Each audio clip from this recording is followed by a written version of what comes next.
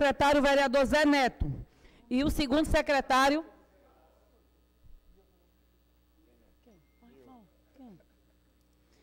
Para que tomem assento à mesa, à mesa diretora.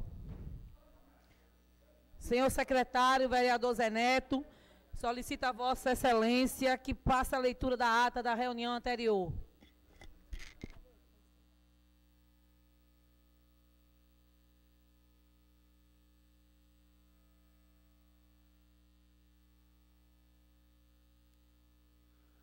Ata da 31ª reunião ordinária do primeiro período da segunda sessão legislativa da 18ª legislatura, realizada no dia 23 de maio de 2022. Presidência dos excelentíssimos senhores vereadores Hélio Guabiraba e Romerinho Jatobá. Aos 23 dias do mês de maio de 2022, no bairro da Boa Vista, na cidade do Recife, capital do estado de Pernambuco, de forma híbrida, reuniu-se a Câmara Municipal do Recife, sob a presidência do vereador Hélio Guabiraba. Ocuparam a primeira e segunda secretaria, respectivamente, os vereadores Zé Neto e Fabiano Ferraz, contando com a presença dos demais vereadores membros deste poder. E havendo número legal, o senhor presidente declarou abertos os trabalhos, solicitando ao segundo secretário que procedesse às leituras das atas das reuniões anteriores. Submetida à apreciação do plenário, as mesmas foram aprovadas sem restrição. Dando prosseguimento aos trabalhos, o presidente solicitou ao segundo secretário que procedesse à leitura do expediente do dia, da qual constaram as seguintes matérias. Projeto de Decreto Legislativo número 22 de 2022, de autoria da vereadora Michele Collins. Projeto de Decreto Legislativo número 23 de 2022, de autoria da vereadora Dani Portela.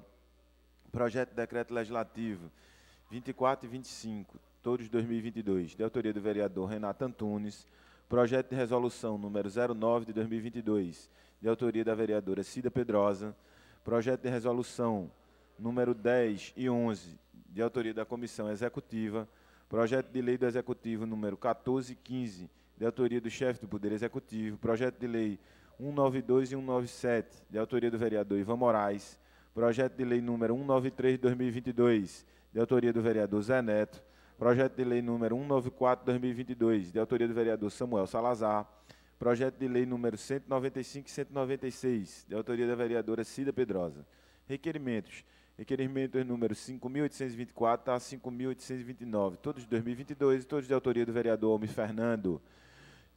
Requerimento 5.830 de 2022, de autoria do vereador Ivan Moraes. Requerimento número 5.882 a 5.886, todos de 2022 e todos de autoria do vereador Eduardo Marques. Requerimento 5.887 de 2022, de autoria do vereador Joselito Ferreira. Requerimento número 5.888 a 5.891, todos de 2022 e todos de autoria do vereador Eduardo Marques. Requerimento 5.915 5.915 de 2022, de autoria do vereador Heriberto Rafael. Requerimento 5.931 de 2022, de autoria do vereador Osmar Ricardo. Requerimento 5.935 e 5.936, de autoria do vereador Pastor Júnior Técio. Requerimento número 5.965 de 2022, de autoria do vereador Luiz Eustáquio. Requerimento número 5.975 de 2022, de autoria do vereador Ivan Moraes. Requerimentos 6.010 e 6.011, de autoria da vereadora e professora Ana Lúcia. Requerimento número 6.013 de 2022, de autoria do vereador Zé Neto. Requerimento número 6.064 de 2022, de autoria do vereador pastor Júnior Técio. Requerimento número 6.086 de 2022, de autoria do vereador Alcides Cardoso.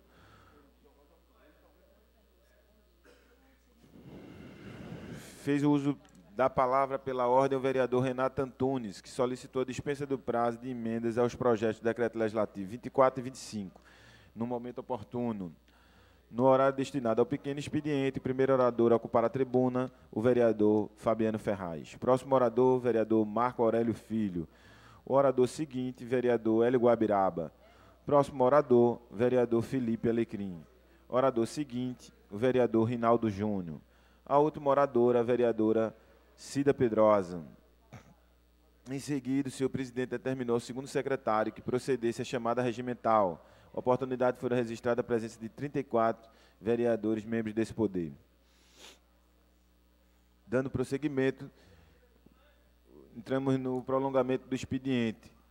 Não havendo prolongamento, passamos para a ordem do dia, da qual constar as seguintes matérias: discussão única em fase de votação dos requerimentos 4.923 e 4.926, todos de 2022 e todos de autoria da vereadora Liana Cirne.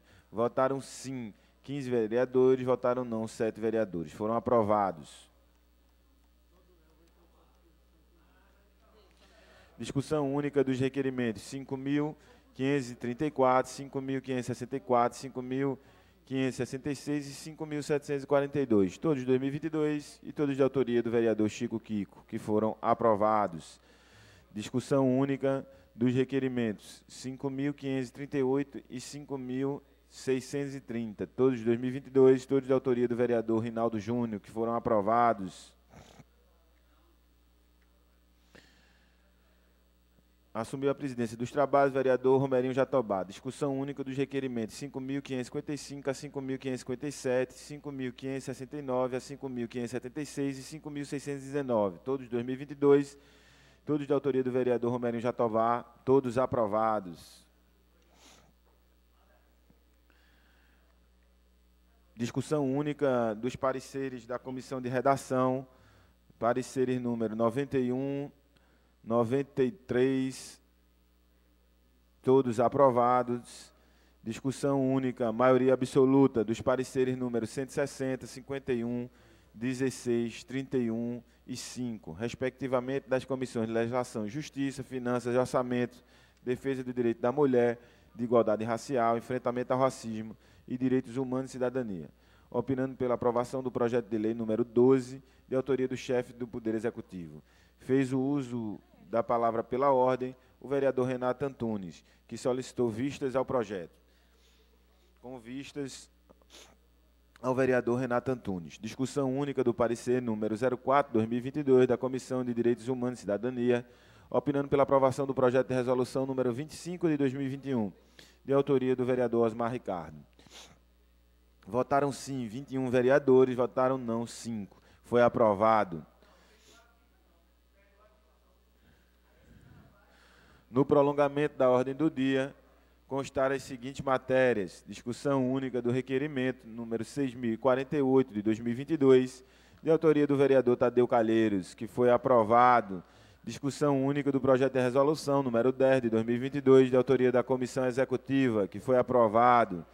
Senhor presidente anunciou que recebeu o ofício número 02 de 2022 do Partido Socialista Brasileiro, indicando o vereador Rinaldo Júnior como líder da bancada e, e o vereador Joselito Ferreira como vice-líder da bancada. Em seguida, solicitou ao Departamento Legislativo as devidas alterações. Nada havendo mais a tratar, o senhor presidente encerrou a presente reunião, convocando os senhores vereadores e senhoras vereadoras para se reunirem amanhã, 24 de maio de 2022, às 10 horas, em reunião ordinária de acordo com a resolução 2755 de 2021 de autoria da comissão executiva, declarou encerrada a presente reunião, da qual foi lavrada a presente ata, que depois de lida e aprovada, vai ser assinada por quem é de direito. Essa é a ata, senhora presidente. Tendo sido lido a ata, lida a ata, coloco a ata em discussão, em votação, aprovada. Solicito ao primeiro secretário que faça a leitura do expediente do dia. Senhora, senhora presidente, só temos requerimento no expediente do dia. Só temos requerimentos no expediente do dia.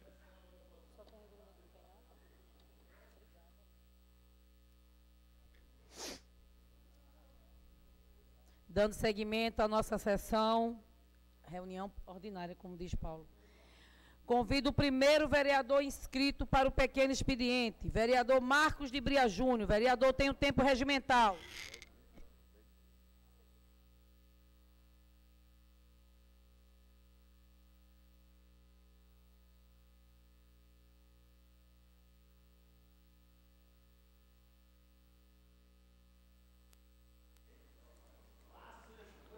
Bom dia. Bom dia a todos e a todas, vereadores vereadoras dessa casa. Senhora presidenta, bom dia. Bom dia, Zé. Bom dia a todos aqui da galeria. E hoje é um motivo de bastante alegria, onde eu faço meu primeiro pronunciamento como vereador do Recife e sei dessa responsabilidade que cada um desses colegas aqui carregam.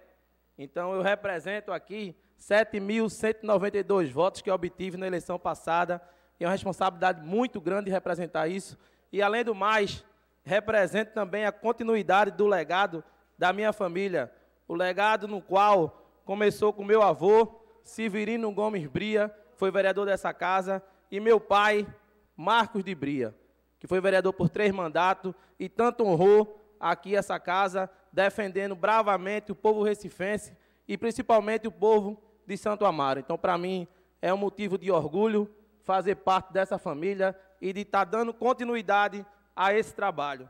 Mas o motivo que me traz aqui na tribuna hoje é para falar sobre a Praça do Padre e agradecer ao prefeito João Campos por sua revitalização. Aquele espaço que se encontra ali, vereador Marco Aurélio Filho, na Avenida Norte, que estava jogado. Hoje o prefeito João Campos resgatou aquele espaço e está fazendo a primeira quadra de vôlei e futevôlei da, de Santo Amaro. Então, vai recuperar aquela área ali que estava abandonada aos moradores de rua, aos drogados, o pessoal usuário de drogas, tudo jogado ali naquela praça. E hoje foi uma vitória a gente começar a revitalizar aquela praça. Quero também, senhoras e senhores vereadores, parabenizar a, a seleção pernambucana de, de advogados, a seleção pernambucana da OAB, que foi campeão norte e nordeste de futebol e quero parabenizar todos eles, especialmente meu amigo que se formou comigo, doutor Kaique. E também quero fazer um apelo ao 16º Batalhão da Polícia Militar, que ontem, na João de Barro, na comunidade da João de Barro, foi retirado o posto policial, posto no qual estava evitando, aquele posto ali era uma medida de prevenção aos assaltantes e aos traficantes da área, Há mais de 16 anos aquele posto estava no local e foi retirado ontem. Eu queria saber e fazer esse apelo ao 16º Batalhão, por que foi retirado esse posto e o que é que vai ser feito ali. Aquele posto tem que continuar. Aquilo ali era uma forma de prevenção que já aconteceu muitas mortes ali na comunidade da João. A guerra do tráfico em Santa Amaro, doutor Dodoel. A guerra do tráfico era conhecida e graças a Deus parou. Então não podemos relaxar com o momento de prevenção. Então aquilo ali é um jeito de inibir os traficantes, os assaltantes. Aconteceu morte no local por bala perdida. Pessoas de bem, pessoas que não tinham nada a ver com, com guerra de tráfico, com nada, foi vítima daquela situação. Então, é um apelo grande à comunidade da João de Barro, é um apelo grande que eu faço aqui nessa tribuna hoje.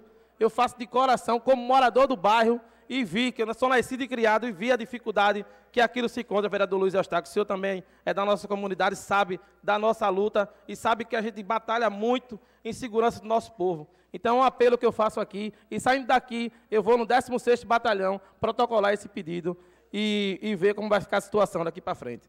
Obrigado a todos, a todos os vereadores. Muito obrigado.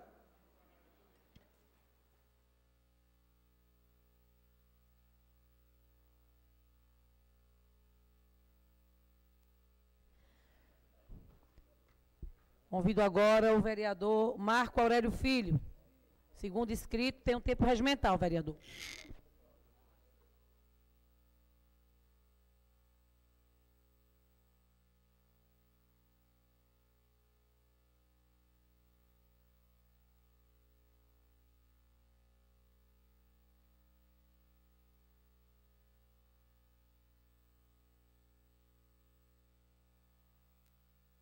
Senhora presidenta, vereadora Ana Lúcia, toda a mesa diretora.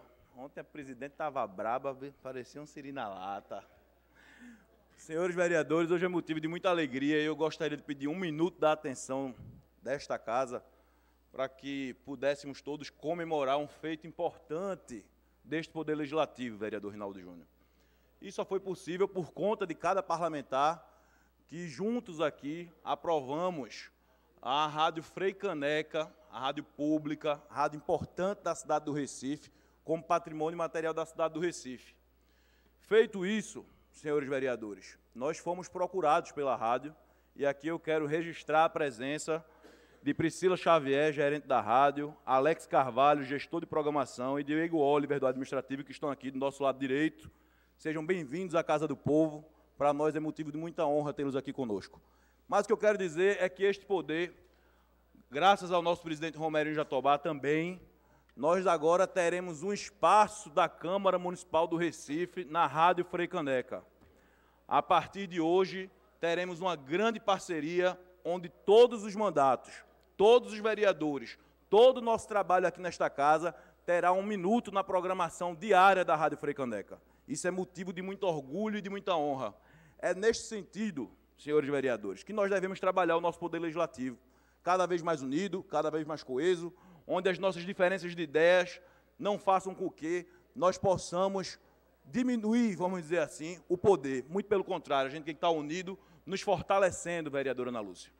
A Rádio Frei Caneca, que foi de autoria, inclusive, ela só existe hoje por conta de um vereador baluarte da Câmara Municipal do Recife, que é o vereador Liberato Costa Júnior, a quem eu quero fazer menção, não posso deixar de registrar. E também quero fazer menção a outro vereador importante, da qual tive a honra de conviver, que era um bocadinho cabuloso, Paulo Rogério. Diziam que ele era chato, mas eu aprendi com o vereador Carlos Gueiros a respeitar o poder legislativo. Eu tive a importância de conviver com Carlos Gueiros e com o vereador, na época, vereador, hoje deputado Marco Aurélio, e compreender a importância de nós, vereador Marco de Bria Júnior, que está chegando aqui somando junto conosco, de valorizarmos esta casa, de fortalecermos as relações com as mais diversas instituições e com os colegas, com os pares, para que este poder seja cada vez mais fortalecido. É neste sentido, vereador Rinaldo Júnior, para que possamos continuar apontando alternativas, para que possamos continuar apontando sugestões ao Poder Executivo. O prefeito João Campos tem demonstrado que tem escutado esta casa, vereador Marcos de Bria Júnior. Vossa Excelência vai perceber que toda pauta que a gente consegue trazer aqui levantar nesta casa, a prefeitura tem a sensibilidade de ouvir. E não foi diferente em relação à Rádio Frei Caneca.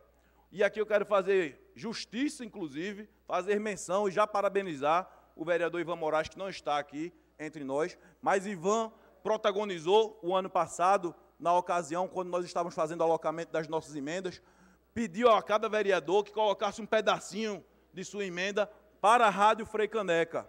O vereador, o, o, o prefeito João Campos entendeu a necessidade de fortalecer a Rádio Frei Caneca. O secretário de Cultura, Ricardo Melo, compreendeu a importância de fortalecer a Rádio Frei Caneca. E agora, em junho, as emendas desta Casa Legislativa, vereador secretário Zé Neto, estarão sendo, né, vamos dizer assim, colocadas em prática. Mostra que quando nós estamos unidos em um só propósito, dá certo. Essa é a nossa missão, vereadores. Fazer com que o Recife dê certo. Essa é a nossa missão, mostrar ao prefeito João Campos que esta casa está preparada, pronta, antenada com a realidade e com os anseios da população. Este é o dever da Câmara Municipal do Recife. E quando encontramos, e mais uma vez eu repito, o nome de Priscila Xavier, gerente da rádio, Alex Carvalho, gestor de programação, Diego Oliver, administrativo, da Rádio Frei Caneca 101.5, quando a gente enxerga em vocês que fazem um trabalho importante para o fortalecimento da democracia, é motivo de muita alegria. É importante que esse poder esteja antenado com vocês. É importante que essa casa José Mariano, uma casa histórica, esteja antenado com vocês. É importante que possamos ser parceiros. Nós, fazendo a nossa parte, trazendo a voz do povo ecoar nesta casa e vocês fortalecendo a democracia, fortalecendo o povo do Recife. Sejam bem-vindos à Casa José Mariano. Tenho certeza que é o início de uma longa, grande e forte história que a Rádio Frei Caneca, Rádio Pública do Recife, está fazendo com a Casa José Mariano. Muito obrigado, senhores vereadores. Obrigada, vereador. Convido agora para fazer uso do pequeno expediente o vereador Luiz Eustáquio, que trocou com o vereador Doduel Varela.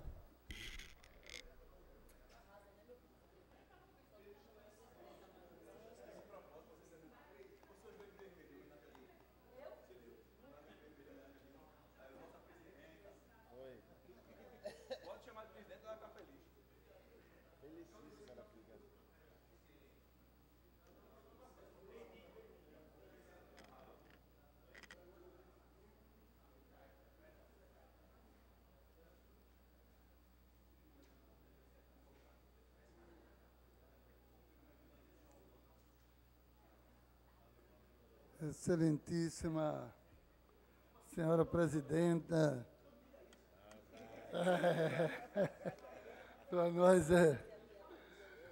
Nossa presidente, uma mulher presidente na mesa é maravilhoso. Isso demonstra, isso demonstra o avanço desta casa, que tem que ir na direção certa de homenagear e valorizar as mulheres. E as mulheres dessa casa têm lutado muito por isso e é muito importante. Mas eu venho à tribuna desta casa nesta manhã para trazer uma, uma notícia importante, ao mesmo tempo para comemorar uma vitória dos trabalhadores da, da Previdência, os trabalhadores do INSS, da Saúde e Previdência, mas sem deixar também de parabenizar os nossos convidados aqui da Rádio Freicaneca, que Deus possa estar abençoando a todos. E sucesso. Liberato Costa Júnior, nosso amigo, era apaixonado, apaixonado e entusiasta dessa, da rádio. Mas eu quero trazer o tema da greve do INSS. Nós tivemos 60 dias de greve, uma greve muito dura, dos servidores públicos federais. A primeira greve de servidor público federal no governo Bolsonaro, Jair Bolsonaro. Uma greve porque não dava mais. Os servidores do INSS estavam há cinco anos, cinco anos sem nenhum reajuste. Não era reajuste, mas para falar a verdade, era recomposição salarial. Tiveram uma perda nos últimos cinco anos de aproximadamente 40%. Isso é um prejuízo muito grande, então os trabalhadores não tiveram outra questão de ser, de entrar em greve, de enfrentar, de ir para a luta. Nós tivemos os salários, os trabalhadores tiveram os salários descontados, mas mantiveram a greve, mantiveram a luta para poder pedindo aí uma melhoria no INSS, que tem o INSS. Mais de 2 milhões de benefícios represados. Existe uma fila no INSS de mais de 2 milhões de pessoas. E tudo isso foi denunciado ali nessa greve. E a gente conseguiu tirar no acordo de greve a questão de você poder, do governo, contratar mais profissionais para poder atender a população. Isso foi muito importante para a população do nosso país. Afinal, o INSS tinha 39 mil trabalhadores e hoje só tem 19 mil. O INSS, quando tinha 39 mil trabalhadores, ele atendia a 26 mil benefícios. Hoje ele, ele mantém 39 mil benefícios com 19 mil trabalhadores. Então, por isso uma fila tão gigante essa fila de mais de 2 milhões de pessoas. Mas eu quero dizer que eu fico muito feliz. Ontem eu não pude estar aqui na casa porque eu estava em Brasília. Trago na minha mão aqui o acordo de greve. O acordo de greve, depois de 60 dias de greve, nós conseguimos, nós conseguimos garantir direitos, avanços, tanto na contratação de novos profissionais, como também no, na direção de organizar o trabalho dos servidores, dos trabalhadores do INSS, no sentido de também buscar a valorização dos trabalhadores, uma, uma busca muito grande por carreira de Estado que os trabalhadores tiveram e nós colocamos nessa greve o fundamento da carreira de Estado para os trabalhadores do INSS. Isso foi muito importante. Nós colocamos nessa greve também a questão da recomposição do VB, para os trabalhadores do INSS que hoje recebe complemento de salário mínimo para poder ter no, no, seu vencimento básico. Um absurdo. Então, diante disso, essa greve foi muito importante para os trabalhadores e trabalhadoras. E ontem nós conseguimos trazer essa vitória. A vitória de uma greve onde a gente conseguiu negociar o desconto em ponto. As pessoas que foram descontadas dos seus pontos vão receber de volta o, o, o seu salário, vamos recompor os horários perdidos, vamos recompor as horas paradas, vamos recompor, mas vamos também ter de volta os nossos salários. Ontem nós assinamos, José Carlos Oliveira, o ministro de Estado, esteve lá conosco e assinou esse acordo. Esse acordo é um marco no momento desse, onde a gente tem enfrentado uma luta muito dura contra um governo que não respeita trabalhador e trabalhadora. A gente entrar na greve e sair vitorioso é muito importante. Eu tenho muito orgulho dos trabalhadores do INSS, trabalhadores e trabalhadoras. Tenho muito orgulho dos ativos e dos aposentados, todos que estiveram nos ajudando nessa greve. Estamos felizes e agradeço a Deus e agradeço a todos aqueles Obrigada, que entenderam querido. a luta dos trabalhadores. Obrigado. Obrigada, vereador. Parabéns. Convido agora o vereador Rinaldo Júnior. Não, perdão. É, Rinaldo Júnior mesmo.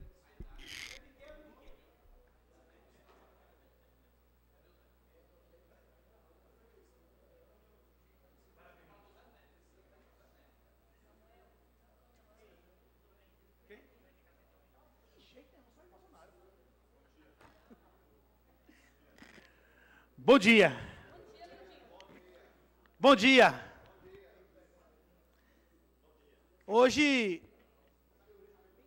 uma data importante para mim, Marco Aurélio Filho. Dia de ontem, o partido decidiu me, me dar essa enorme, o Partido Socialista Brasileiro, essa enorme responsabilidade. Me conduziu à liderança do partido aqui na Câmara Municipal da cidade do Recife. Para mim é um motivo de muito orgulho Paulo Muniz. Partido que eu acredito, o partido de João Magabeira, o partido do Eduardo Campos, o partido de Geraldo Júlio, o partido de Paulo Câmara e o partido do atual prefeito da cidade do Recife, João Campos. Partido que eu acredito, o partido que nasceu grande, o partido que fez um belo trabalho, inclusive faz um grande trabalho em defesa da Petrobras. E nessa parte a gente não pode esquecer que Possivelmente hoje, o presidente da República vai demitir e vai mudar pela quarta vez a presidência da Petrobras. Uma crise gigantesca do petróleo, do combustível, do gás de cozinha. E o presidente da República, o senhor Bolsonaro, está perdido. Aliás, ele é tetra. São quatro presidentes da Petrobras, são quatro ministros da educação e quatro ministros da saúde. Como vai dizer que esse país deu certo? Mas o Partido Socialista Brasileiro está na trincheira. Ontem o nosso prefeito da cidade do Recife foi convidado pelo presidente Luiz Inácio Lula da Silva para fazer parte do conselho de campanha que vai tirar o país desse ostracismo, que vai brigar por moradia, que vai brigar por todos aqueles que em um momento da sua vida ousaram lutar para defender o pão, que são os trabalhadores que todos os dias, Mirinho, saem de casa para ir para a luta. Trabalhadores assalariados que há 28 anos não, não enxergam e não lembram de como o salário mínimo perde valor. A política econômica acabou. Quem apoia Bolsonaro, quem vai levantar a bandeira do bolsonarismo, é cúmplice da falta de comida no braço dos trabalhadores. É cúmplice, é cúmplice de milhões de pessoas que perderam suas vidas na pandemia. Chegou a hora da mudança. O Partido Socialista Brasileiro, que eu tenho muito orgulho, Júnior de Bria, de, de, de estar liderando agora aqui nessa Câmara, como diz a minha amiga Cida Pedrosa, a arena da democracia, são 12 parlamentares que defendem arduamente a cidade do Recife. Eu tenho essa missão e é uma missão que eu pretendo seguir com muita honra. Agradeço ao presidente do PSB Recife, Gabriel Leitão. Agradeço a confiança do presidente estadual, Celeno Guedes. Agradeço a confiança do prefeito da cidade do Recife, mas principalmente agradeço a confiança dos meus pares, vereadores da minha bancada, que juntos temos uma missão: quer tirar o Bolsonaro do poder. Vamos à luta, senhores. Não é fácil.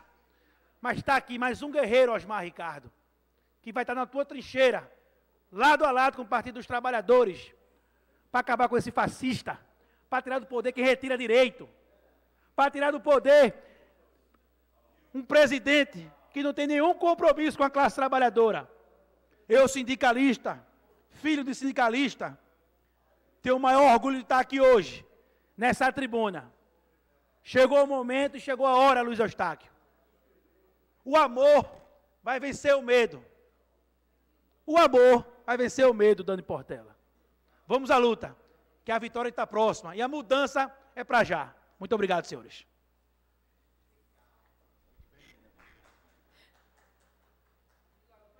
Convidamos agora a vereadora Dani Portela. A vereadora tem um tempo regimental.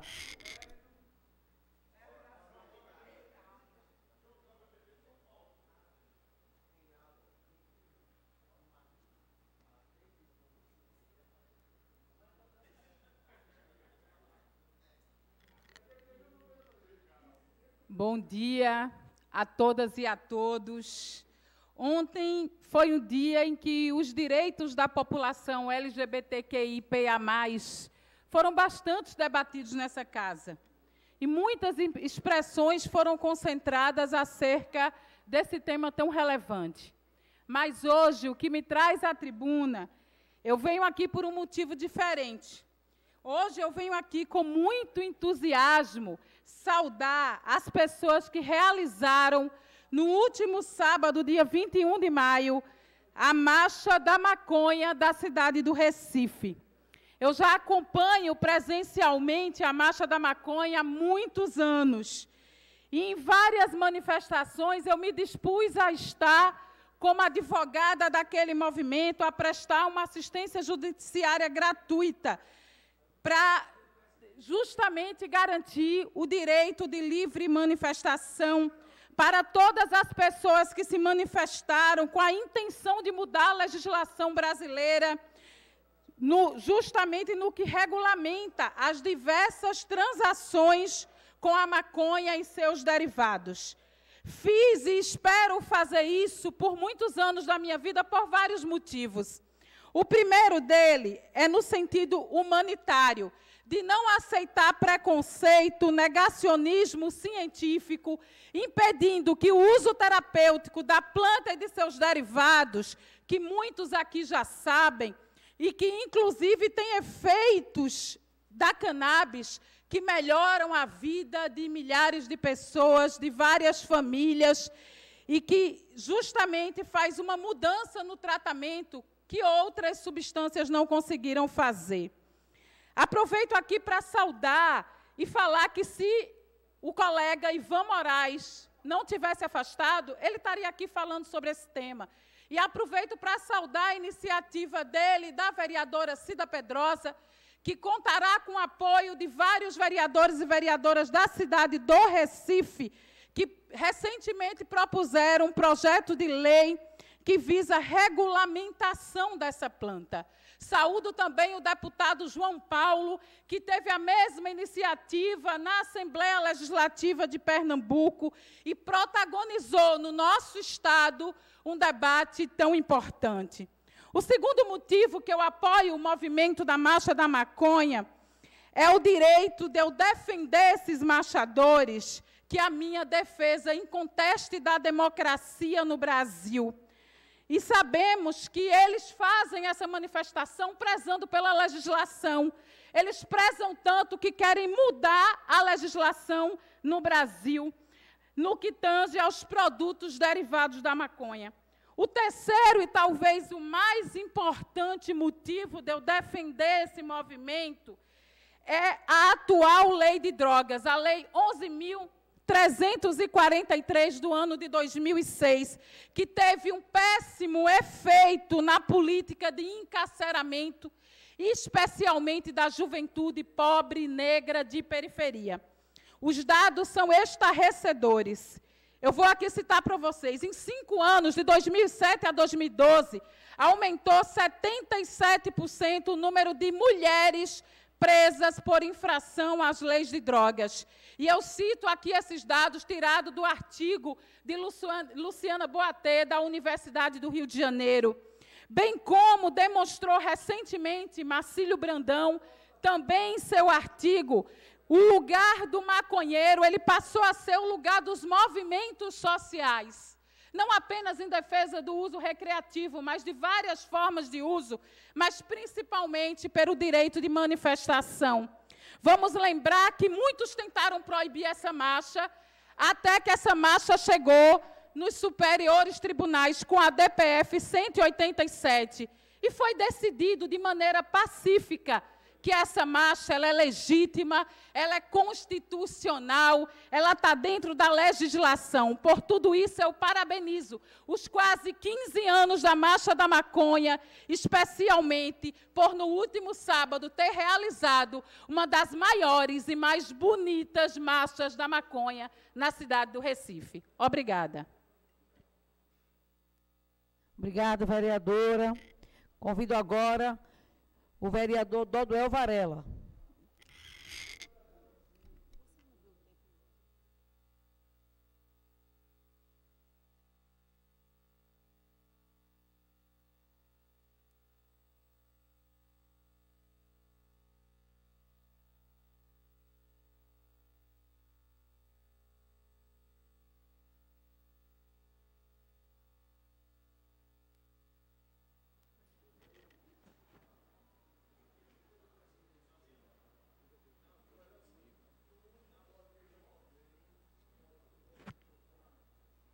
Bom dia a todas e a todos.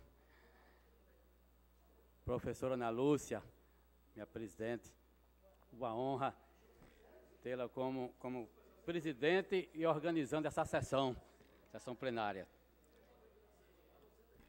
Minhas amigas e meus amigos, a todos que nos acompanham pelas redes sociais, pela, pela, pela arquibancada aqui da, da, da casa. Eu vou falar nesse momento sobre a obra de ampliação da BR-232, uma obra de grande importância para a nossa cidade, nosso estado. E nesse final de semana, vereador Paulo Muniz, eu estive na cidade de Bezerros, Gravatá, e entrei ali em, Xangrande, onde fui visitar lideranças da comunidade lá dessas cidades e meus familiares. E no retorno, que eu vim sentido Recife, mais ou menos ali no trecho ali, antes do viaduto, o trânsito travou. E a gente não conseguia andar, os veículos praticamente parados. E chegando mais à frente, eu pensei que já tinha havido algum acidente grave ali na estrada, mas não. Quando nós passamos ali naquela entrada que dá para o Bido Krause, percebi que ali havia vários buracos devido o, o, o movimento dos veículos. Eu gostaria de solicitar o quê? Que desse uma melhorada naquele trecho. Melhorando aquele trecho, eu acredito que o trânsito vai fluir um pouco mais. É onde a gente percebeu. E também percebi a falta de segurança para o local. Eu estava com o carro da minha filha à frente do meu e eu com minha família no carro de trás e me senti muito inseguro. Eu, como policial, e fiquei, eu estava armado, mas porém eu senti muito medo porque minha filha estava à frente o trânsito parado. A gente sabe ali, vereador Zé Neto, que existem aquelas comunidades ali carentes e existe bandido infiltrado naquelas comunidades. E eu solicito aqui ao governo do Estado, ao secretário de Segurança Pública, que coloque um trio de policiais de um lado e do outro, que não seja viatura, é, é, veículo, porque vai dificultar no, no trânsito. Seria importante que a gente colocasse um trio de policiais, tanto de um lado como do outro, para facilitar até o trânsito ali. E iria melhorar a segurança e o trânsito nosso, devido aos buracos. E também, nós identificamos que não havia também um policial rodoviário na área já que passamos ali na BR-232, não tem um policial. E no trecho de Recife, eu solicito a CTTU que também coloque pessoas ali do, da CTTU que vá monitorar aquele trânsito, que puxe o trânsito para poder a gente consiga transitar pelo menos com 20% por hora, porque a gente estava mais ou menos a 5 por hora, então não tinha condições de transitar. O medo foi muito grande é, e, e, eu senti pavor devido à situação. E gostaria também de parabenizar o prefeito João Campos, que nós conquistamos, é, vereador Rinaldo Júnior, já que o senhor faz parte agora da, da, da, da turma de frente do, do, da casa, né, o líder do governo, agradecer o prefeito João Campos, uma obra pequena, Paulo Muniz, um trecho que vai da Estrada do Bongi à rua Desembargador, Desembargador, é, Desembargador João Batista. Esse trecho, minha senhora e meus senhores, nessas chuvas que aconteceram, pasmem, senhores, não alagou. Se fosse há dois meses atrás, seria um transtorno para aquela comunidade, porque alagava mais de meio metro, Rinaldo Júnior. E só com esse, essa ação da prefeitura, de mais ou menos 50 metros de calçamento, a gente resolveu o problema daquela comunidade. Graças a Deus e a ação do prefeito João Campos, a gente conseguiu zerar a, a, a, com essas chuvas agora. Os moradores do Bongi desse trecho aí agradecem ao prefeito João Campos por essa pequena ação, mas muito valiosa para eles lá. Há 40 anos que a gente tentava fazer esse trecho, calça, calçar esse trecho, e agora a gente conseguiu. Foi um requerimento do meu gabinete, vereador, do gabinete do vereador Daldel Varela, e atendido pelo prefeito João Campos e a secretária Marília Dantas. Quero aqui agradecer, porque na hora de criticar a gente critica, mas na hora de agradecer a gente agradece. O trecho lá de muita importância para a comunidade do Bongi. Essas são minhas palavras. Eu quero agradecer a minha presidente, Ana Lúcia, pela, pela oportunidade. Muito obrigado. Obrigado, vereador. Encerrado o pequeno expediente. Solicito ao primeiro secretário que faça a chamada regimental. Senhora presidente, temos 31 vereadores presentes a esta reunião e um justificado. Obrigada, vereador. Solicito ao primeiro secretário que dê início ao prolongamento do expediente. Prolongamento do expediente. 32ª reunião ordinária, 18ª legislatura, segunda sessão legislativa. Discussão única do requerimento 5.832 de 2022, de autoria do vereador Samuel Salazar. Coloco o requerimento em discussão. Não havendo quem queira discuti-lo, em votação. Aprovado.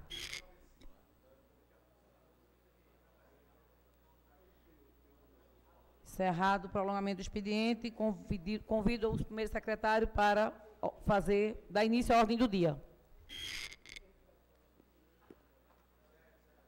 Discussão Discussão única dos requerimentos 5.747, 5.749, 5.751, 5.753, 5.754, 5.758, 5.760, 5.761, 5.762, 5.763, 5.764, 5.765, 5.766, 5.767, 5.768, 5.769, 5.771, 5.775, 5.777, 5.778, 5.779, 5.780, 5.786, 5.787, 5.932, 5.933, 5.935, 5.936 e 5.972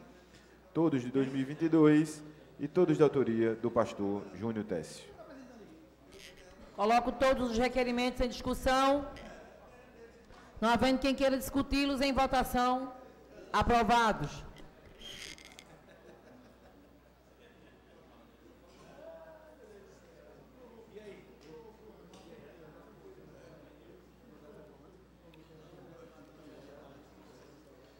Discussão única dos, do requer, dos requerimentos 5.748, 5.750, 5.752, 5.759, 5.770, 5.772, 5.773, 5.774, 5.776, 5.781, 5.782, 5.783 e 5.784, todos de 2022 e todos de autoria do vereador Paulo Muniz.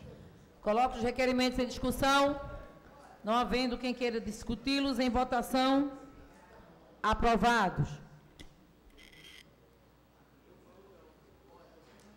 Discussão única dos requerimentos 5.755, 5.857, 5.859 e 5.860, todos de 2022 e todos de autoria do vereador Rinaldo Júnior. Coloco os requerimentos em discussão. Não havendo quem queira discuti-los, em votação, aprovados.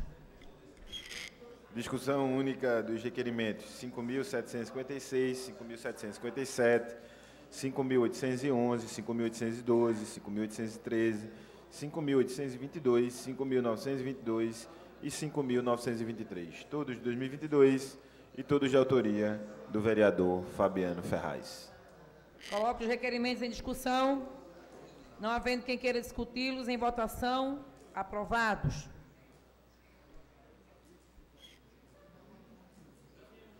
Discussão única do, dos requerimentos 5.785, 5.823, todos de 2022 e todos de autoria do vereador, do vereador Felipe Francis Mar.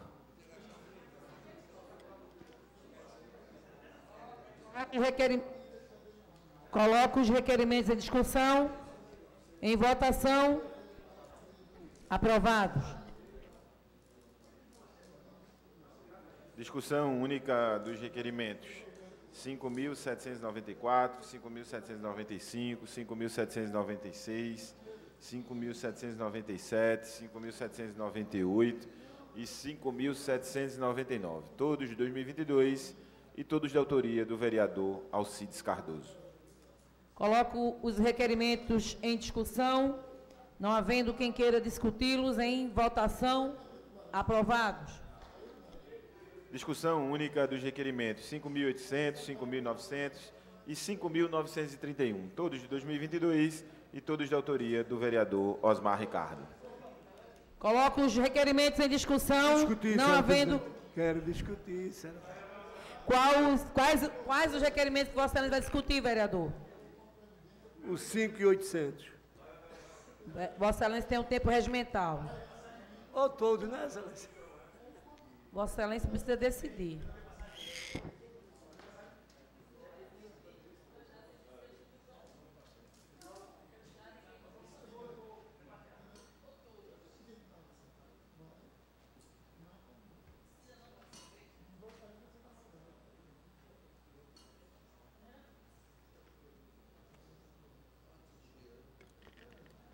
Senhora presidente, feliz de estar ver a senhora presidir a sessão do dia de hoje, os demais vereadores e vereadoras.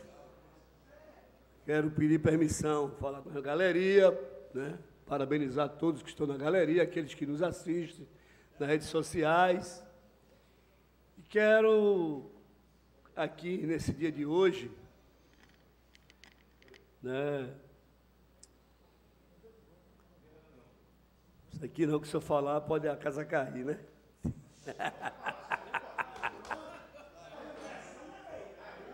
Quero falar sobre o requerimento 5.800, que faz um apelo ao governador de Pernambuco, Paulo Câmara. Primeiro, ao secretário de Desenvolvimento Urbano de Habitação, senhor Tomé França, meu amigo pessoal, pessoa de primeira linha, né? camarada de verdade. E ao diretor-presidente do Grande Recife, consórcio de transporte, Flávio Soteiro. Nós fizemos requerimento e viemos discutir, vereador Luiz Eustáquio. Primeiro porque achamos que é meia passagem aos domingos e feriados era muito importante para movimentar o lazer, né, o esporte. E que foi feito isso pelo governo anterior. Paulo Câmara fez isso no seu governo antes de, da pandemia. E aí a pandemia eximiu das pessoas saírem de casa, né? E isso acabou, encerrou. E a gente vê ontem aqui os elogios feitos a Guararapes como vereador e o líder do governo, atual líder do governo, já é atual líder já, né? Governo não, PSB. Do PSB. É... Mas vai ser logo, logo, viu? Logo, logo, o Salazar, aguarde. Você vai comer teu cartão. vai comer o teu cartão ligeiro demais. Esse é rápido. Então eu quero dizer aqui, vereador Rinaldo Júnior, que a importância, discordo inclusive de alguns momentos do governo João Campos, deixar claro aqui isso, né? mas o papel é importante quando se coloca lazer, terapia para o povo do Recife, né? discordar, às vezes, do formato, mas tudo que é feito para o bem da saúde mental, psicológica, é importante para a cidade do Recife. Mas o vereador Rinaldo Júnior tem também uma grande influência, como o vereador Marco Aurélio também, nessa ação. Vem aqui elogiar o prefeito João Campos, que hoje nos jornais ele diz que vai coordenar a campanha de Lula. Mas quero ouvir o vereador Rinaldo Júnior sobre a questão da meia passagem, sobre o sábado, os domingos e feriado, vereador. Vereador Osmar Ricardo, o meu interesse aqui, nesse microfone de aparte, é discutir o requerimento que Vossa Excelência colocou na ordem do dia de hoje, que tem meu apoio. Essa questão de, de apoiar, organizar a campanha de Lula, eu também quero estar junto do prefeito João Campos. Mas eu estou aqui para dizer, Vossa Excelência, que é com muita alegria e satisfação que a tua voz também está junto desse pedido que fizemos ainda no ano passado, outubro do ano passado, e que ontem eu tive a felicidade também, com essa caixa de ressonância, como diz Almir Fernando, de mais uma vez de fazer essa discussão, que deve ser uma pauta conjunta da Câmara Municipal da Serra do Recife. Tomara que todos nós, Mirinho, possamos nos unir para cobrar ao consórcio Grande Recife a urgência do retorno da meia passagem aos domingos e feriados. A desculpa, de forma correta, naquele momento, de diminuir o fluxo de pessoas no momento de pandemia, foi importante. Mas hoje, com o retorno da economia, da atividade de lazer, é necessário, e aí eu faço um. Eu me torno a sua voz também nessa tribuna de hoje a meia passagem deve votar para já. E aí eu quero, junto com vocês, com, todo, com toda a Câmara Municipal da cidade do Recife, engrossar esse coro. A Câmara Municipal precisa ser ouvida. Esse trabalhador precisa ter o direito de ir e vir para ter o seu lazer no dia de domingo, como é costumais e costumeiro, e sempre foi, inclusive, é, ajuda muito a economia do nosso município. Então, Osmar, Obrigado também, te peço obrigado por estar engrossando essa, esse coro, dizer que eu e você junto vamos falar muito alto para que essa meia passagem volte ao Grande Recife Transporte, Grande Recife Transporte, consórcio Grande Recife Transporte. Muito obrigado, meu Osmar. Incorporo a sua parte, meu líder, Rinaldo Júnior, porque essa, esse debate é muito importante para o povo. Né? E eu quero aqui deixar claro que isso aqui é a Casa Zé Mariano. Nós podemos fazer um requerimento junto para apresentar esse requerimento na próxima segunda-feira. Inclusive um requerimento, Reinaldo Júnior, vou propor aqui ao vereador Luiz Ostaque também, para que a gente possa assinar, e tirar uma comissão, uma frente parlamentar aqui, para ir lá ou falar com o governador, ou falar com os dois secretários, o secretário Tomé, que é um camarada que tem compreensão né, sobre esse debate. Mas quero ouvir o vereador Luiz Eustáquio. Vereador Osmar, o seu requerimento ele é muito importante. O vereador Rinaldo já falava que em determinado momento colocou esse ponto, tem discutido na casa esse ponto. Em determinado momento também, em 2016, eu tive aqui, fiz um movimento muito grande, que o BRT não, não tinha direito de meia passagem no BRT, era só nos ônibus comuns. E a gente conseguiu ali que o BRT passasse a ter meia passagem, porque no domingo não tinha. Se pagasse dinheiro, você não tinha, você não tinha direito a meia passagem. Mas tudo isso se perdeu e você, vereador Marcado, teve a sensibilidade de ver esse momento. O momento onde, onde as, as, pessoas não estão tendo o direito da meia passagem. Você, você teve a sensibilidade de perceber isso, que a pandemia deixou e ficou. Então, esse requerimento vem num momento muito extraordinário para a nossa sociedade. É muito importante, porque você sabe que isso é bom para a cultura, isso é bom para a sociedade, isso é bom para as pessoas que vêm da periferia, que não têm. Muitas vezes quer fazer um passeio, quer vir no Marco Zero, um lugar tão lindo na nossa cidade, e não tem. E não tem ali o direito de se deslocar, porque a passagem é cara. Então, Parabéns, vereador Osmar Ricardo, parabéns por, por, por estar colocando esse requerimento e pode ter certeza que o nosso mandato vai estar junto ao seu mandato nesse momento tão importante para o povo da cidade do Recife. Incorporo, vereador Luiz Eustáquio, todas as suas palavras e quero aqui dizer que o requerimento não é nosso. Esse requerimento vai ser da Casa de Mariano, porque é um debate importantíssimo para a cidade do Recife. É isso que a gente tem que tratar aqui. Aqui tem alguns vereadores que tratam do eu, do eu. E aí é bonito ouvir sua voz, ouvir Rinaldo Júnior e os demais vereadores. Ontem teve um debate aqui caloroso, importantíssimo. Né? tivemos divergência nesse, no final do debate da Frente Parlamentar LGBTQIA. Mas quero dizer, vereador Luiz Gustavo, como a vereadora Dani Portela colocou aqui, sobre a marcha da maconha, vereadora. Eu quero dizer a Vossa Excelência que eu fui um dos fundadores, junto com Ingrid Farias, com Eduardo e com outros companheiros, que fiz vários debates aqui, audiências públicas, e enfrentamento, inclusive, vereador, com Vossa Excelência, que hoje me inspira como pessoa também, tá? como uma pessoa evangélica, mas me inspira como homem, como cidadão recifense. Você sabe disso, o grande respeito que eu tenho a Vossa Excelência. Mas quero dizer que esse desconto foi criado em 2017. Em 2020 foi suspenso por conta da pandemia. E é preciso que essa casa, vereador Rinaldo Júnior, coloque sua voz. Segunda-feira no requerimento, e a gente precisa tratar, ver como é que fazer esse requerimento. Isso é um requerimento para criar uma comissão para ir ao governador, e a Tomé França, que é um cara sensível. Inclusive é um secretário que na hora que você ligar para ele, ele atende, viu? Se ele não atender, ele retorna minutos depois.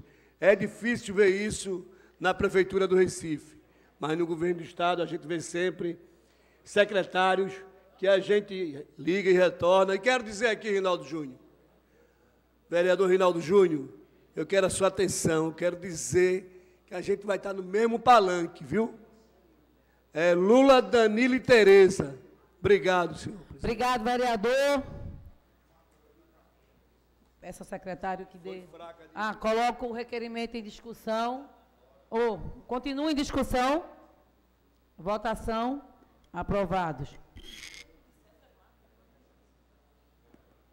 Discussão única dos requerimentos. 5.801, 5.803, 5.804, 5.807 e 5.820, todos de 2022 e todos de autoria do vereador Wilson Batista.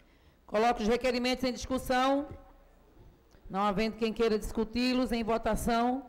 Aprovados. Discussão única dos requerimentos 5.802, 5.861, 5.862, 5.864, 5.866 e 5.867. Todos de 2022 e todos de autoria do vereador Chico Kiko.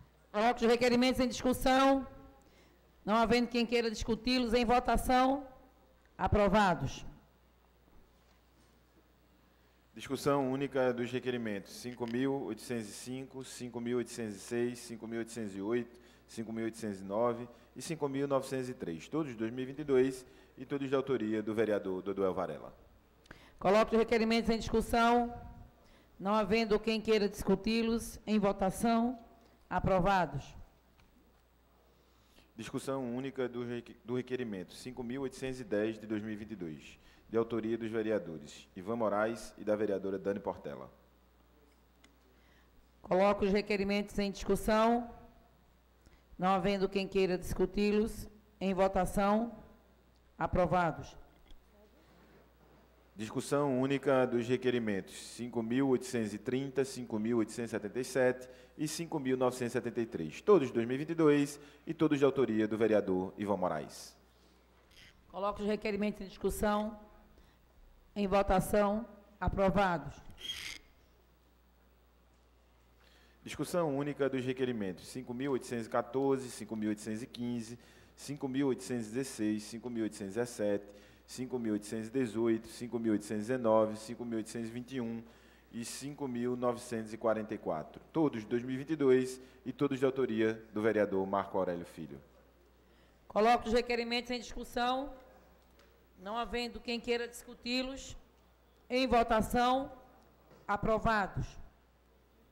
Discussão única dos requerimentos 5.824, 5.825, 5.826, 5.827, 5.828, 5.829, 5.858, 5.863, 5.865, 5.872 e 5.938, todos de 2022 e todos de autoria do vereador Almir Fernando. Coloco os requerimentos em discussão. Não havendo quem queira discuti-los, em votação. Aprovados.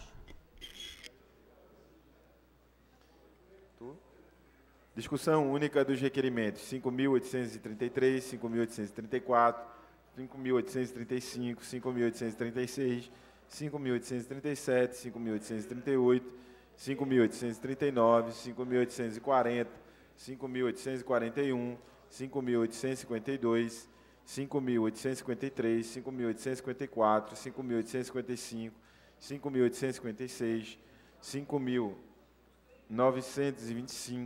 5.926, 5.942, 5.943, 5.945, 5.946, 5.947, 5.948 e 5.950 e 5.960, todos de 2022 e todos de autoria da vereadora e professora Ana Lúcia. Coloco os requerimentos em discussão. Não havendo quem queira discuti-los, em votação. Aprovados. Discussão única dos requerimentos 5.842, 5.843, 5.844, 5.845, 5.846, 5.847, 5.848, 5.849, 5.850 e 5.851, todos de 2022 e todos de autoria do vereador Zé Neto. Coloco os requerimentos em discussão. Não havendo quem queira discuti-los, em votação. Aprovados. Discussão única dos requerimentos 5.874, 5.876, 5.878, 5.879, 5.880, 5.882, 5.883, 5.884, 5.885, 5.886, 5.888, 5.889, 5.890, 5.891, 5.893, 5.895, 5.896, 5.897, 5.899, 5.901, 5.902, 5.904, 5.905, 5.906, 5.907, 5.908, 5.909, 5.910, 5.911, 5.912, 5.914, 5.917, 5.918, 5.919 e 5.921, todos de 2022 e todos de autoria do vereador Eduardo Marques. Coloco os requerimentos em discussão.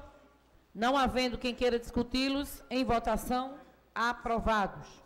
Discussão única dos requerimentos 5.875, 5.881, 5.887, 5.892, 5.894, 5.898, 5.920, 5.934 e 5.937, todos de 2022 e todos de autoria do vereador Joselito Ferreira. Coloco todos os requerimentos em discussão. Não havendo quem queira discuti-los, em votação, aprovados. Discussão única dos requerimentos 5.924, 5.927, 5.928, 5.929 e 5.930, todos de 2022 e todos de autoria da vereadora Natália de Menudo. Coloco os requerimentos em discussão. Não havendo quem queira discuti-los, em votação, aprovados. Discussão única dos requerimentos 5.939 e 5.940, todos de 2022 e todos de autoria do vereador Aderaldo Pinto. Coloco os requerimentos em discussão. Não havendo quem queira discuti-los, em votação, aprovados. Discussão única do requerimento 5.941 de 2022, de autoria do vereador Tadeu Calheiros. Coloco o requerimento em discussão. Pode discutir, secretária. Vossa Excelência tem um tempo regimental.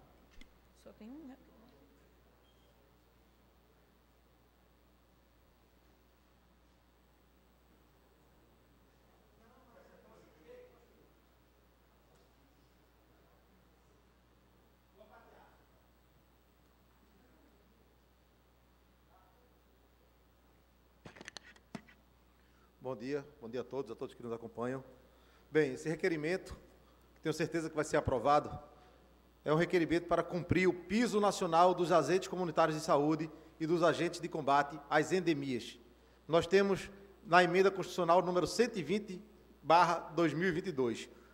No último dia 4 de maio, Rinaldo Júnior, o Senado Federal, Federal aprovou a PEC 09 de 2022, é que prevê o pagamento dos agentes comunitários de saúde e dos agentes de combate às endemias, um vencimento não inferior a dois salários mínimos, o que equivale a R$ 2.424 em 2022. A referida norma prevê ainda que o pagamento desses servidores ficará a cargo da União, que deverá repassar os recursos financeiros necessários para os extratos dos estados, distritos e municípios. Ou seja, isso não vai repercutir em custos para o município. Tá? A exclusão desses valores para fins do cálculo de limite de despesas com pessoal. Então, como eu já disse, a aplicação do piso não trará qualquer impacto financeiro orçamentário ao município. Atualmente, essa valorosa categoria recebe um vencimento de R$ 1.573,25. E conforme o anexo da lei que já mencionamos, esse valor vai aumentar em R$ 850,75. Então, esse requerimento visa para que o município cumpra o piso salarial dessa categoria, o que vai trazer um impacto financeiro muito importante para esses profissionais. Um aumento de 875 reais vai trazer uma, uma série, uma notória mudança na qualidade de vida desses profissionais que vão poder exercer ainda melhor, com mais tranquilidade dentro de casa, a sua profissão. E a gente sabe o quão importante é a profissão dos agentes comunitários, dos agentes de combate a endemias. Então a gente cobra que esse piso seja aplicado aqui em Recife o mais rápido possível, porque já teve a lei do, do na, na, precisa ser sancionada, mas precisa ser aplicado aqui. Então a gente conta com apoio, como eu disse, não vai trazer nenhum impacto orçamentário financeiro para o município, mas vai trazer um impacto orçamentário e financeiro para esses trabalhadores de forma muito positiva. Então não tem como a gente não aprovar e então trabalhar junto à Prefeitura do Recife para que esses agentes consigam receber esse merecido é, reajuste. Eu dou, concedo a parte agora para Dani Portela. Eu queria parabenizar Vossa Excelência, vereador Tadeu Calheiros, quem tem defendido a saúde nas suas mais diversas formas e parabenizar pela iniciativa e somar nessa cobrança Lembrando só o meu lado professora de história, que eu acho bem importante, que essas duas categorias de agente de endemia e de agente de saúde remontam ao século XX, quando no Brasil a gente combatia, naquela época, a febre amarela. E hoje, séculos depois, né, a gente está um século depois, e essa categoria ainda se faz tão necessária no combate a várias doenças que já deveriam ter sido erradicadas, como Zika, chikungunya e várias outras questões. É, eu perdi o meu pai para chikungunya, por complicação da chikungunya.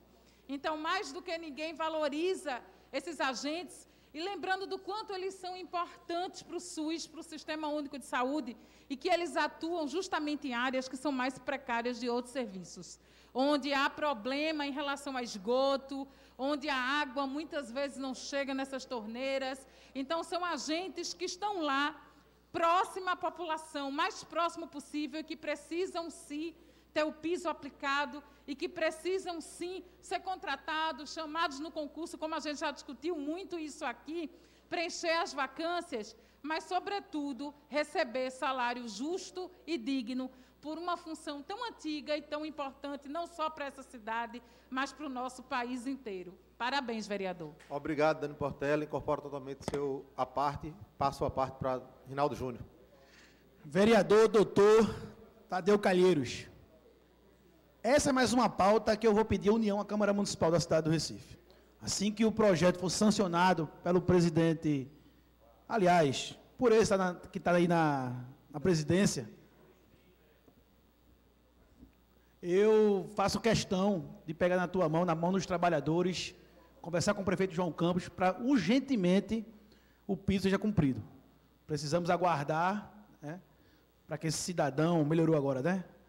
que está aí na presidência, né, até dezembro, se Deus quiser, sancione e a gente possa, de mãos dadas, pedir ao prefeito João Campos que cumpra o piso da categoria. Inclusive, Vossa Excelência, eu quero lhe parabenizar também por outro fator. As nomeações, e o prefeito João Campos tem feito isso, é, praticamente todo trimestre tem nomeação de agente de saúde, tem, tem, tem, tem nomeação de, de, de, profissionais ligados à saúde. Eu sei que essa é a tua pauta e eu sei que as coisas estão andando. Né? E é muito importante. Isso é uma forma, isso é uma prática que eu sempre defendo. Né? A Câmara Municipal ela se une é, e deixa de lado algumas pautas de, de, de debate acalorado, mas para quando, quando é para ajudar a população, a gente precisa estar sempre unido. E essa é uma pauta que eu faço questão de me unir ao teu mandato, para que assim que chegue, é, assim que for sancionado a, o piso da categoria, a gente possa aqui brigar por isso. Parabéns, Jadeu. Obrigado, vereador Rinaldo. Passo a parte agora para o vereador Alcides Cardoso. Obrigado, vereador Tadeu Calheiros.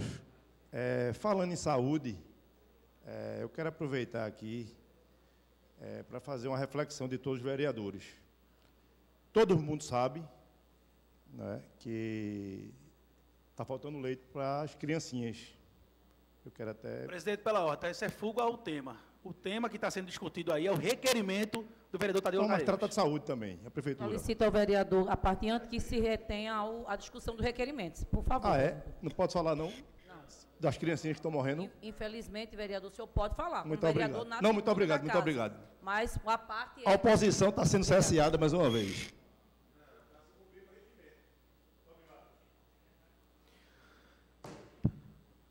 Quero agradecer, quero agradecer, quero agradecer os apartes. Esse, esse papel aqui que temos feito para as nomeações dos profissionais de saúde é muito importante. A gente parabeniza as nomeações feitas. Sabemos que ainda vai precisar de mais. Tem locais que não foram nomeados, locais da cidade do Recife que ainda não foram nomeados, como a vereadora Dani Portela trouxe. É, a gente ainda necessita muito desses profissionais, né, ainda mais no período chuvoso, como estamos enfrentando, onde tem acúmulo de água, acúmulo de poças, e isso favorece o mosquito Aedes aegypti de proliferar, e os agentes de combate à endemia estão ali educando, orientando, acerta nada mais justo do que as nomeações desses profissionais e que o piso seja cumprido. Alcides, não, vamos, não vou fugir ao tema aqui, mas me solidarizo a esse assunto que estou brigando para que melhore a saúde do Recife. Nele também, só não vou abordar ele aqui agora para não fugir ao tema, mas solidarizo a esse, a esse tema. Muito obrigado e vamos sim, Rinaldo, vamos juntos, todos juntos, para que esses profissionais consigam esse reajuste tão importante para essa categoria. Obrigado. Continua em discussão o requerimento não havendo mais quem queira discuti-lo, em votação, aprovado. Discussão única dos requerimentos 5.949 e 5.951, todos de 2022 e todos de autoria do vereador Renato Antunes. Coloco os requerimentos em discussão. Não havendo quem queira discuti-los, em votação, Aprovados. Discussão única dos requerimentos 5.952, 5.953, 5.954, 5.955, 5.956, 5.957, 5.958, 5.959, 5.961, 5.962, 5.963, 5.964, 5.967, 5.968, 5.969, 5.970 e 5.971. Todos de 2022 e todos de autoria da vereadora Michele Collins. Coloco os requerimentos em discussão. Não havendo quem queira discuti-los, em votação, aprovados. Discussão única do requerimento 5.965 de 2022, de autoria do vereador Luiz Eustáquio. Coloco o requerimento em discussão. Não havendo quem queira discuti-lo, em votação, aprovado. Discussão única do requerimento 5.966 de 2022, de autoria do vereador Heriberto Rafael. Coloco o requerimento em discussão. Em votação, aprovado. Discussão única do requerimento 6.155 de 2022, de autoria do vereador Renato Antunes. Coloco o requerimento em discussão. Em votação. Aprovado. Segunda discussão do parecer número 144 de 2022, da Comissão de Legislação e Justiça, opinando pela aprovação do projeto de lei número 372 de 2021, de autoria do vereador Fabiano Ferraz. Coloco em discussão o parecer, em votação, aprovado. Segunda discussão dos pareceres número 17 e 101, todos de 2022, respectivamente das comissões de Legislação e Justiça, de Educação, Cultura, Turismo e Esporte, opinando pela aprovação do projeto de lei número 368 de 2021, de autoria do vereador Heriberto Rafael. Coloco em discussão os pareceres. Coloco os pareceres em discussão. Não havendo quem queira discuti-los, em votação. Aprovados. Primeira discussão dos pareceres números 125 e 35, todos de 2022, respectivamente das comissões de Legislação e Justiça, de Educação, Cultura, Turismo e Esporte, opinando pela aprovação do projeto de lei número 381 de 2021, de autoria da vereadora Dani Portela, bem como das emendas supressivas da relatoria da Comissão de Legislação e Justiça. Coloque Gostaria de discutir, Excelência. Coloque em discussão os pareceres. Vereadora tem um tempo regimental.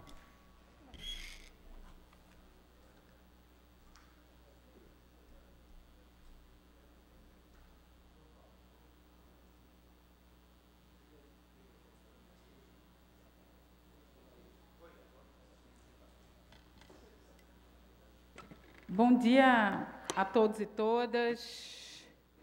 Quase boa tarde. Eu não vou usar todo o tempo de discussão, vou ser bem breve, apenas para justificar que, em virtude dos debates feitos anteriormente, é, eu decidi ouvir a bancada e tentar chegar num consenso para que realmente esse projeto ele seja mais adiante aprovado.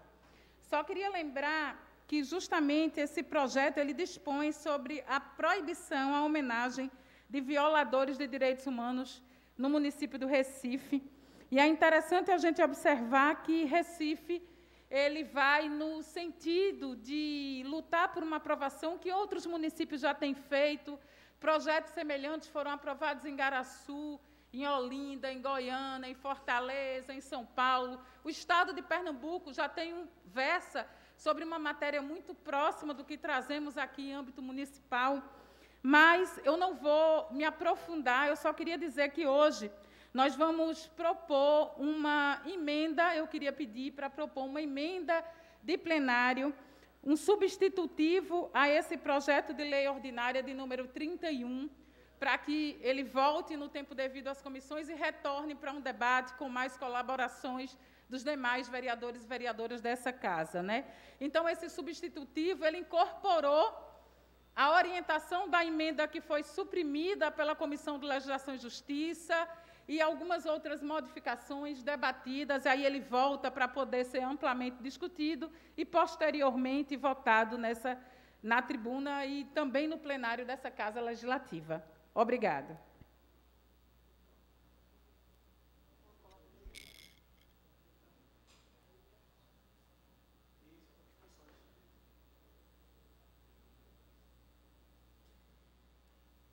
Senhora Presidente, pela ordem, só para entender, a vereadora Dani Portela apresentou uma emenda de plenário, o projeto vai ser retirado de pauta e voltar às comissões. É isso? Obrigado.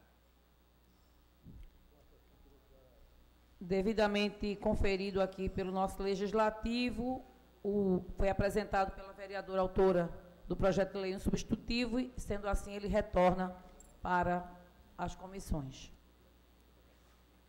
Primeira discussão do parecer número 504 de 2021 da Comissão de Legislação e Justiça, opinando pela aprovação do projeto de lei número 112 de 2021, de autoria do vereador Dodoel Varela. Coloco os pareceres em discussão. Não havendo quem queira discuti-los, em votação. Aprovados. A discussão dos pareceres número 43 e 102, todos de 2022, das comissões de Legislação e Justiça, de Educação, Cultura, Turismo e Esporte, opinando pela aprovação do projeto de lei número 373 de 2021, de autoria do vereador Fabiano Ferraz. Coloco os pareceres em discussão. Não havendo quem queira discuti-los, em votação, aprovados. Primeira discussão dos pareceres 110, 59 e 13, todos de 2021, respectivamente das comissões de Legislação e Justiça, de Educação, Cultura, Turismo e Esporte e de Saúde, opinando pela aprovação do projeto de lei número 48 de 2022, de autoria da vereadora e professora Ana Lúcia. Coloco os pareceres em discussão. Solicito ao primeiro secretário que possa assumir a, a, a presidência para que eu faça a discussão.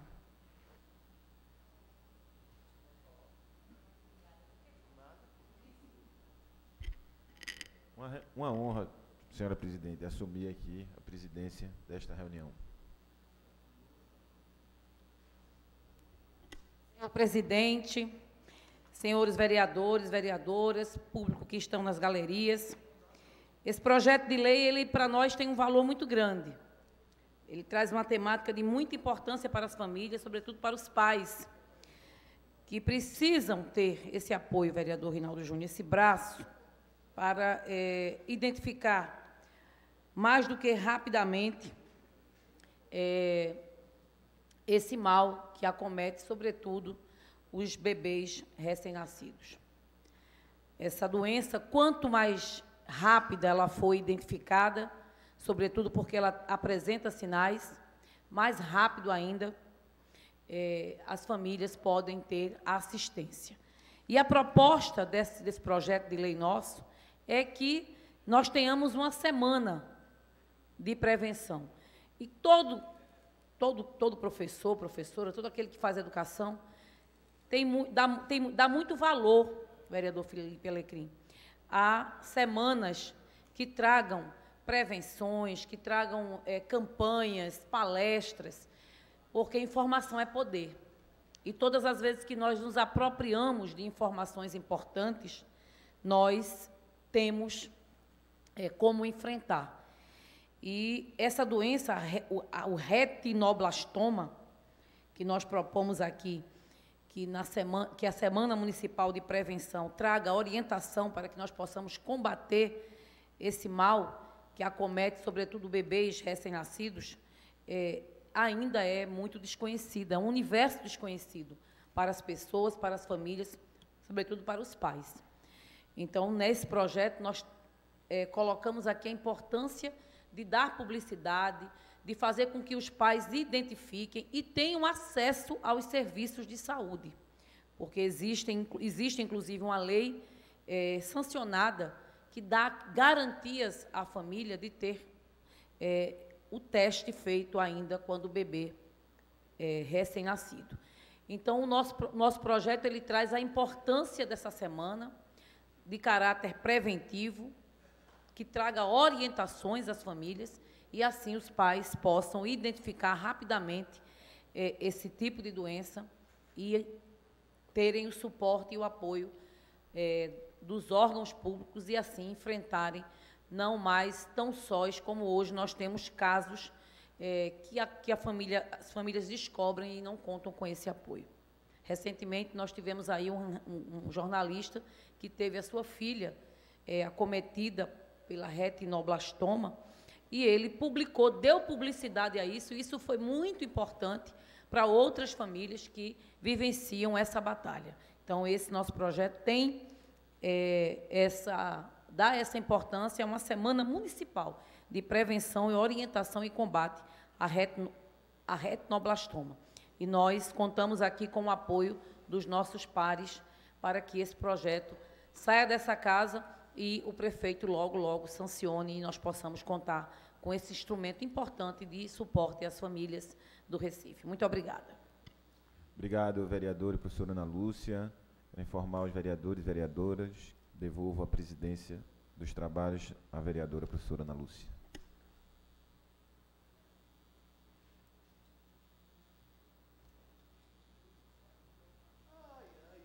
Continua em discussão os pareceres.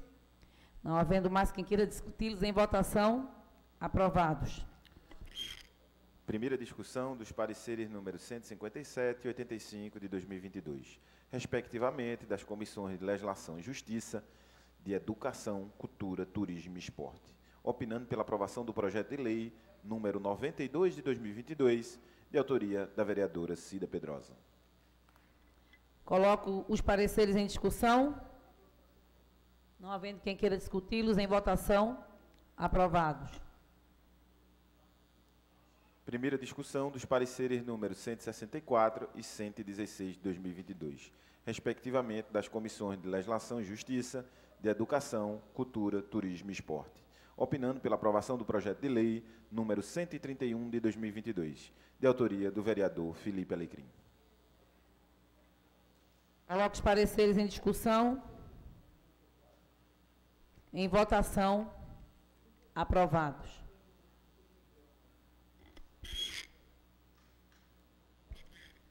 Cerrada a ordem do dia. Presidente, pela ordem, presidente. Hoje não, vereador. Eu queria pedir Vossa Excelência a verificação do coro.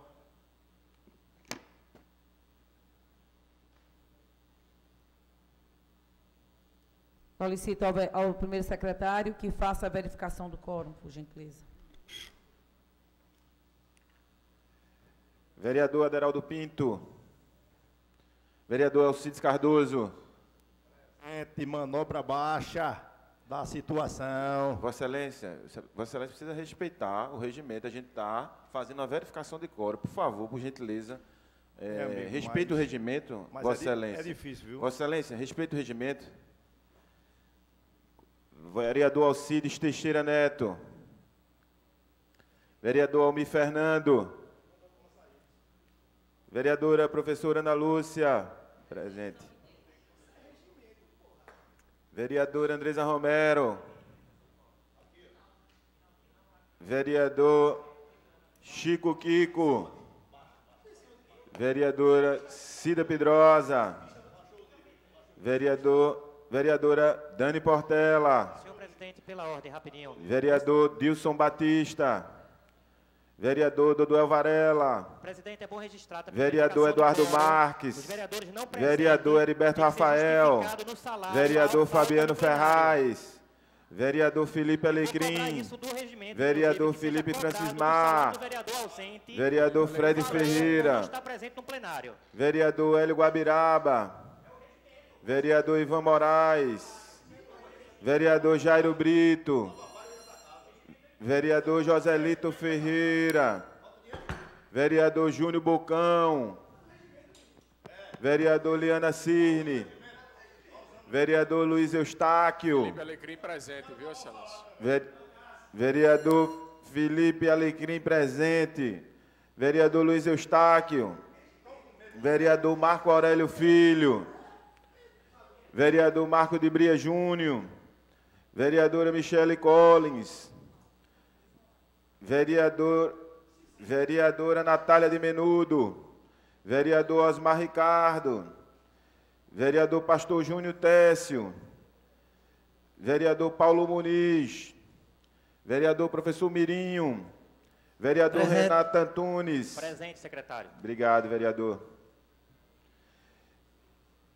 Vereador Samuel Salazar. Vereador Tadeu Calheiros.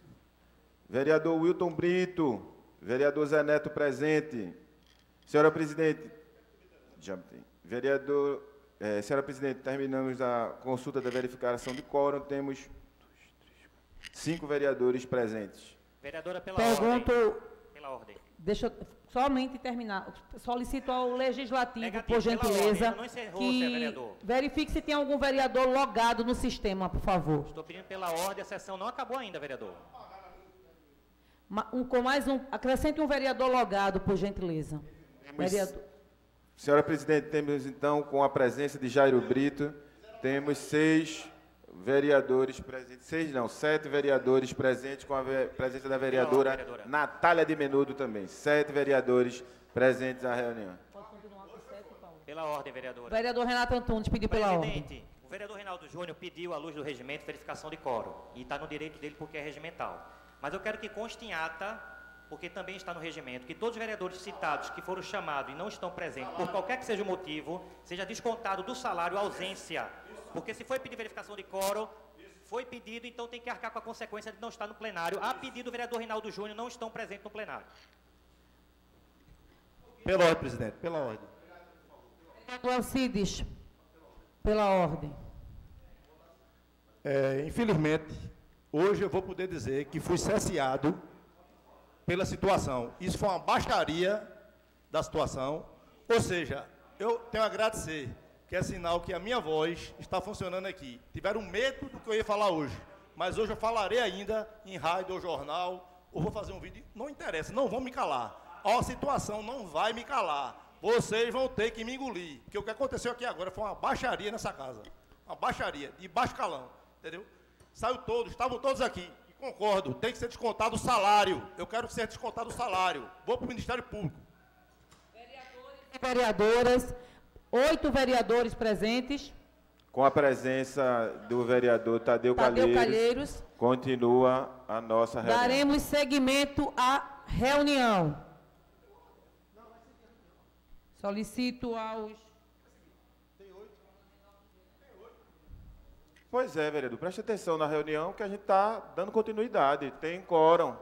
Você está tá tendo quórum. Solicito ao primeiro secretário que faça a leitura do prolongamento da ordem do dia.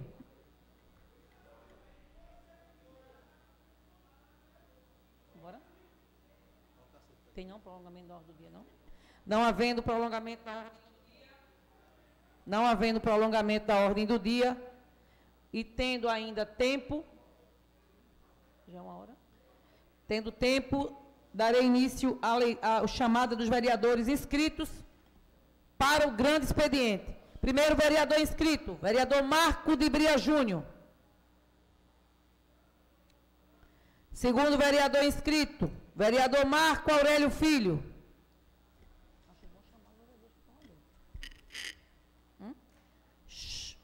Terceiro vereador inscrito, vereador Doduel Varela. Quarto vereador inscrito, vereador Rinaldo Júnior. Quinta vereadora inscrita, vereadora Dani Portela.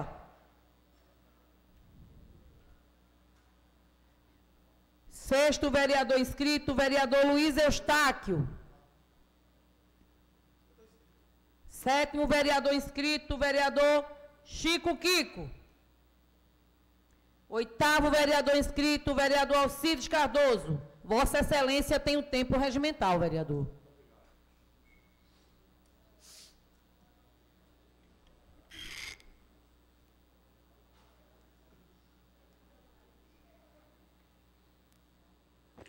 Bom dia a todos. É, infelizmente, eu não vou poder. Bom dia, vereador Tadeu Calheiros, Renato Antunes, secretário, a Zenete já foi, presidente.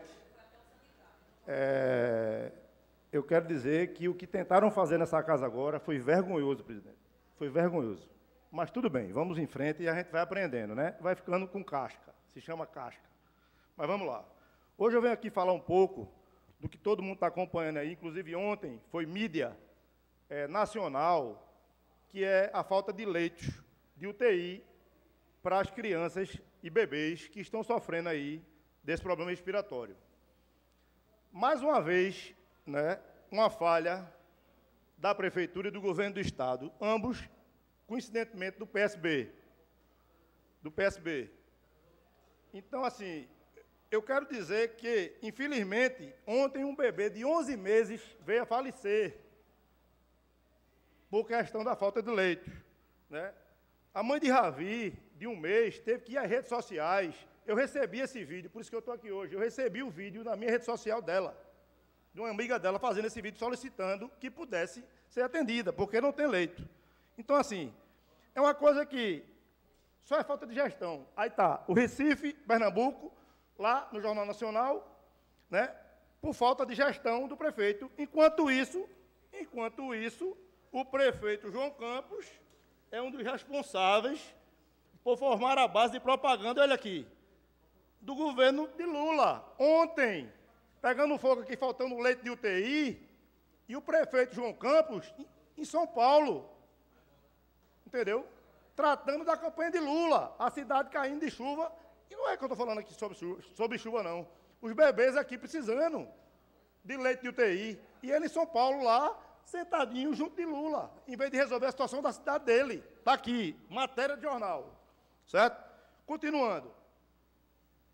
Ele, na campanha de 2000, aí é que eu estou para aqui, isso aqui hoje. Na campanha de prefeito, ele prometeu fazer um hospital, né? Um hospital com custo de 42 milhões. Foi prometido na campanha do prefeito João Campos. Até hoje não tem nenhum terreno. Está sendo prometido esse hospital para ser iniciado em 2023.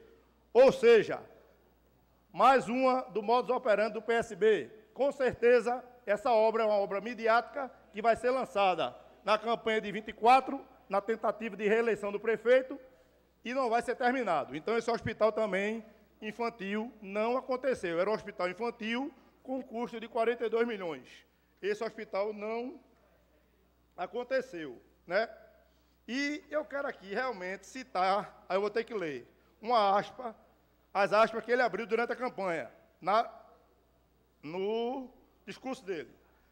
A gente já mostrou que o que a gente diz que vai fazer, a gente faz. E com a gente, e como a gente cuida da saúde, tem que cuidar da criança. Porque se a gente cuida da criança, a gente garante a construção do futuro. Tenho a convicção que a gente está fazendo a coisa certa, afirmou João Campos em sua campanha. Ou seja, ele falou especificamente de crianças. Especificamente de crianças. Prometeu um hospital, um valor de 42 milhões, e nada até agora aconteceu. Está aqui, ontem, fila por vaga em UTI infantil. Vereador Tadeu Calheiros, que o senhor vem batendo muito sobre isso aqui também. Faltando médico, faltando medicamento e agora leitos. E não são muitos, não. Para a gente, mas para as famílias não, são 100 leitos, 93 leitos. 93 crianças, bebês, aguardam na lista de espera por leito de UTI, diz Ministério Público de Pernambuco. Né? E aqui está exatamente a construção do Hospital da Criança, é o novo carro-chefe da campanha de João Campos, ou seja, foi carro-chefe. Imagine se não tivesse sido, foi carro-chefe da campanha de João Campos. Né? Foi carro-chefe. Então, eu venho aqui hoje dizer que, infelizmente, a nossa prefeitura está abandonada. Ontem, volto a falar, ontem, enquanto aqui as criancinhas estão sofrendo, as mães, as famílias, primeiro assim, me solidarizar com todos que estão precisando nesse momento. Tem crianças aí precisando, morrendo, estão apelando. Por sorte, a mãe de Ravi conseguiu uma UTI, porque foi para apelo mesmo, todo mundo foi um apelo, foi um sortudo, mas ontem perdemos um de 11 meses, uma criança de 11 meses já com essa doença. Então, assim, é questão de gestão, é questão de gestão, minha gente. Enquanto isso, o prefeito está lá cuidando da campanha do ex-presidiário. Está cuidando da campanha do ex-presidiário que foi condenado e preso. Né? Mas agora eu quero dar uma parte ao vereador Renato Antunes. Vereador Alcides, parabéns pelo discurso, mas não é pelo discurso político, não. É pela clareza e pelos dados que o Vossa Excelência traz a essa tribuna, para lembrar o povo do Recife que a gente tem memória. A gestão de João Campos a gestão do PSB, na verdade, está acostumada a fazer propaganda e não cumprir. E tentar cessear o direito de quem pensa contrário. O que acabamos de ver aqui. Tentativa de acabar com a sessão, porque saber que Vossa Excelência ia falar com o coração para o povo do Recife, de um problema que é recorrente. Não se trata saúde com promessa. Toda campanha majoritária do PSB tem um hospital novo a ser construído. E a restauração caindo do teto, os hospitais sem profissionais que são competentes, mas sem a devida valorização. E o que a gente vê mais uma vez, a campanha do PSB prometendo hospital infantil. E a gente vê aí pela imprensa, pelas redes sociais hoje, que graças a Deus é um instrumento poderoso que a opinião pública usa, não é para constranger, não, é para mostrar para o político que o que ele faz não é favor, é obrigação. Cuidar da saúde não é favor de político, não, é obrigação moral. E em vez de estar preocupado com a eleição, deveríamos estar preocupados, de fato, é com a saúde do nosso povo e crianças que estão morrendo. Vossa Excelência traz um, um dado concreto hoje e usa essa, essa, essa tribuna legítima que te foi dada de forma republicana e que alguns usam um regimento para te impedir de falar. Mas é importante que o Recife saiba que nesta casa a oposição não faz pirraça, não, mostra a realidade. Pequena ou não, ela é acirrada e mostra o que nós não queremos para o Recife. O que nós não queremos é propaganda. O que queremos é mais ação, para que não morram crianças como está morrendo. Então, Vossa Excelência traz aí um discurso duro, mas na dureza do seu discurso, o nosso apelo é que haja sensibilidade dessa gestão, que pare de prometer e de brincar com a saúde alheia e faça o que deve ser feito, investir onde deve ser investido, e não o que nós vimos na aprovação da Lua aqui nesta casa, que Vossa Excelência participou. Milhões sendo tirados de áreas tão sensíveis e importantes e colocado em propaganda em ano eleitoral. Parabéns, vereador, por sua sensibilidade, pela luta. Somos poucos, mas não vão calar nossas vozes. Pelo Recife, vamos continuar fazendo o trabalho que torna a falar. Não é favor, é obrigação. Muito obrigado, vereador Renato Antunes. Incorporo totalmente sua parte e já passo a parte para o vereador Felipe Alecrim. Obrigado, vereador Alcides Cardoso. Eu quero parabenizar Vossa Excelência pelo discurso, pela coragem de denunciar o caos que hoje vive a saúde aqui na cidade do Recife, no estado de Pernambuco. Todos nós parlamentares, certamente, todos os dias recebemos reclamações de pessoas que não têm acesso à saúde faltam médicos, faltam exames médicos, as pessoas não conseguem agendar exames médicos, a infraestrutura é inadequada, os profissionais não conseguem exercer bem a sua missão, o seu trabalho. E nós vemos o governo do PSB fazer investimentos em propagandas que não são condizentes com a realidade que se vive aqui no Recife. O que se mostra vereador, na propaganda, é muito diferente da realidade que se vive aqui na nossa cidade e no nosso estado, e nós precisamos mudar essa realidade. Nós precisamos de sensibilidade do governo, de políticas públicas que transforme de verdade, de fato, a vida da população da cidade do Recife, do estado de Pernambuco. E nós temos sim uma grande oportunidade de mudar o que está aí. E por isso nós estaremos sempre unidos aqui como oposição, trazendo a luz da verdade para que as pessoas possam ver a realidade daquilo que acontece na nossa cidade e no nosso estado. Então, mais uma vez, parabéns pela sua desenvoltura, pela sua coragem, pela sua sensibilidade de mostrar o que está acontecendo aqui na nossa cidade. Muito obrigado, vereador Felipe Alecrim. Alecrim. Incorporo totalmente sua parte. E continuo dizendo, é, como vocês falaram aí, é um governo altamente midiático, por isso que tem que se gastar com propaganda e tirar da saúde, da educação e da segurança e botar o dinheiro para propaganda. Porque eu digo, e já repeti milhões de vezes, eu queria morar no Recife daquela propaganda da televisão, daquelas escolas, daqueles hospitais, da segurança que eles mostram que a gente tem. Né? Então, assim, eu agradeço a oposição toda hoje, que foi unida aqui, segurando essa sessão, porque como quiseram fazer era para realmente calar nossas vozes e não conseguimos. E não conseguiram. Agradeço, vereador Renato Antunes, Tadeu Calheiros, Felipe Alecrim né, e a todos. É, foi muito importante e quero deixar aqui realmente frisado. Sou oposição propositiva, se ouvir e peço encarecidamente que a prefeitura resolva esse problema, presidente. São 93 crianças, bebês, que estão para perder a sua vida. Não é brincadeira. Isso é questão de gestão. Isso é questão de gestão. Entendeu? Falta de gestão, mais nada. E eu peço encarecidamente que o, que o prefeito resolva, em vez de estar em São Paulo, cuidando da campanha do ex-presidiário, ontem sentadinho lá, esteja aqui na sua cidade para resolver esse problema do Recife. Eu dou a parte à vereadora Michele Colles. Vereador, é, eu queria só parabenizar Vossa Excelência por trazer esse tema à tribuna dessa casa e dizer que é um assunto muito triste. Realmente, ontem eu visitei todas as UTIs do Hospital Barão de Lucena. E eu fiquei chocada com as cenas que eu vi. São muitas criancinhas, muitos bebês. E o impressionante é que eles têm mais ou menos a mesma faixa etária, 30 dias até um ano. Então, é um surto, é algo que pegou todo mundo de surpresa.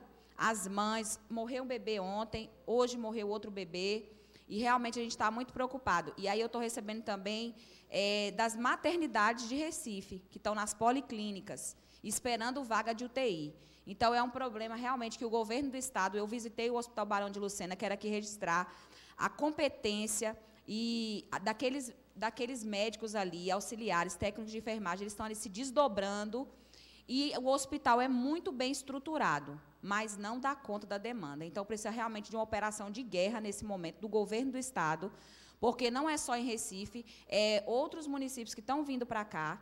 Então, é necessário urgente que haja uma intervenção do governo do Estado, porque o que eu detectei ontem, que não é um problema do Hospital Barão de Lucena, como eu fui chamado pelas mães lá, mas é um problema da saúde pública do Estado de Pernambuco, que precisa ser resolvido. Parabéns, vereador, por trazer esse tema.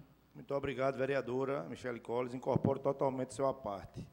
É, quero finalizar aqui agradecendo a todos, né, a oposição é, em especial, e fazer realmente esse apelo. Né, são crianças estão, inclusive, voltando. Acho que foi a Helena Moura, vereador Tadeu Calheiros, que fecharam as portas. Não receberam mais crianças no Helena Moura. Então, assim, são crianças, minha gente. Como qualquer um, mas são crianças que estão falecendo. A vereadora já trouxe aqui outra morte. Ontem teve um, hoje outra, por falta de 100 leitos. Minha gente não pode, numa cidade como o Recife, no estado de Pernambuco, 100 leitos se resolve com gestão, é querer resolver, é querer botar o problema na mesa e resolver. Nada mais nada menos do que isso. E espero que nossa voz seja ouvida e que seja solucionado o problema, porque são vidas que estão em jogo. Outra coisa, vocês vão ter que me engolir. Vamos lá. Muito obrigado. Obrigado, vereador. Próximo vereador inscrito para o grande expediente, vereador Zé Neto. Vereador Felipe Alecrim. Vossa Excelência. Eu declino. Ok, vereador. Vereador Osmar Ricardo. Vereador Samuel Salazar. Vereador Tadeu Calheiros. Vossa Excelência tem um tempo regimental.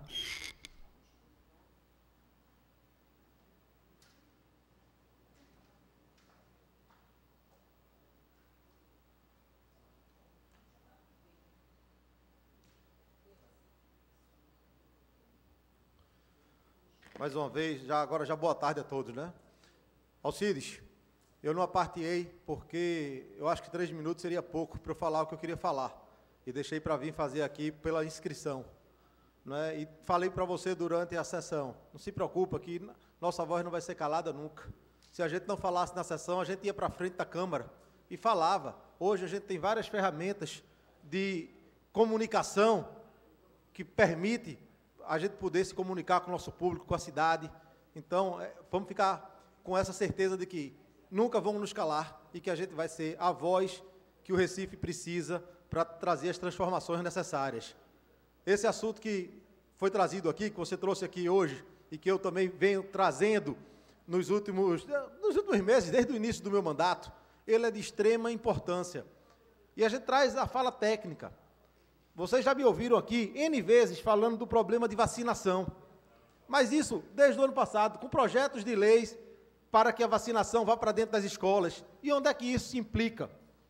Hoje, a gente tem apenas 15% na cidade do Recife de cobertura para crianças da vacina da gripe. E estavam me perguntando, Tadeu, é normal, por que está com tantos casos em criança? É essa baixa cobertura vacinal o que implica um maior adoecimento de quadros virais, quadros virais respiratórios, que se complicam com infecções bacterianas, e aí estamos com as emergências superlotadas.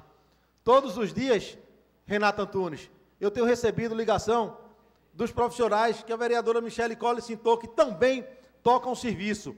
E eu preciso fazer uma, não é nenhuma correção, um esclarecimento em algumas falas. Quando a gente fala faltam médicos e está faltando mesmo médico no serviço, mas não falta médico querendo trabalhar no serviço público. É bom que isso fique registrado.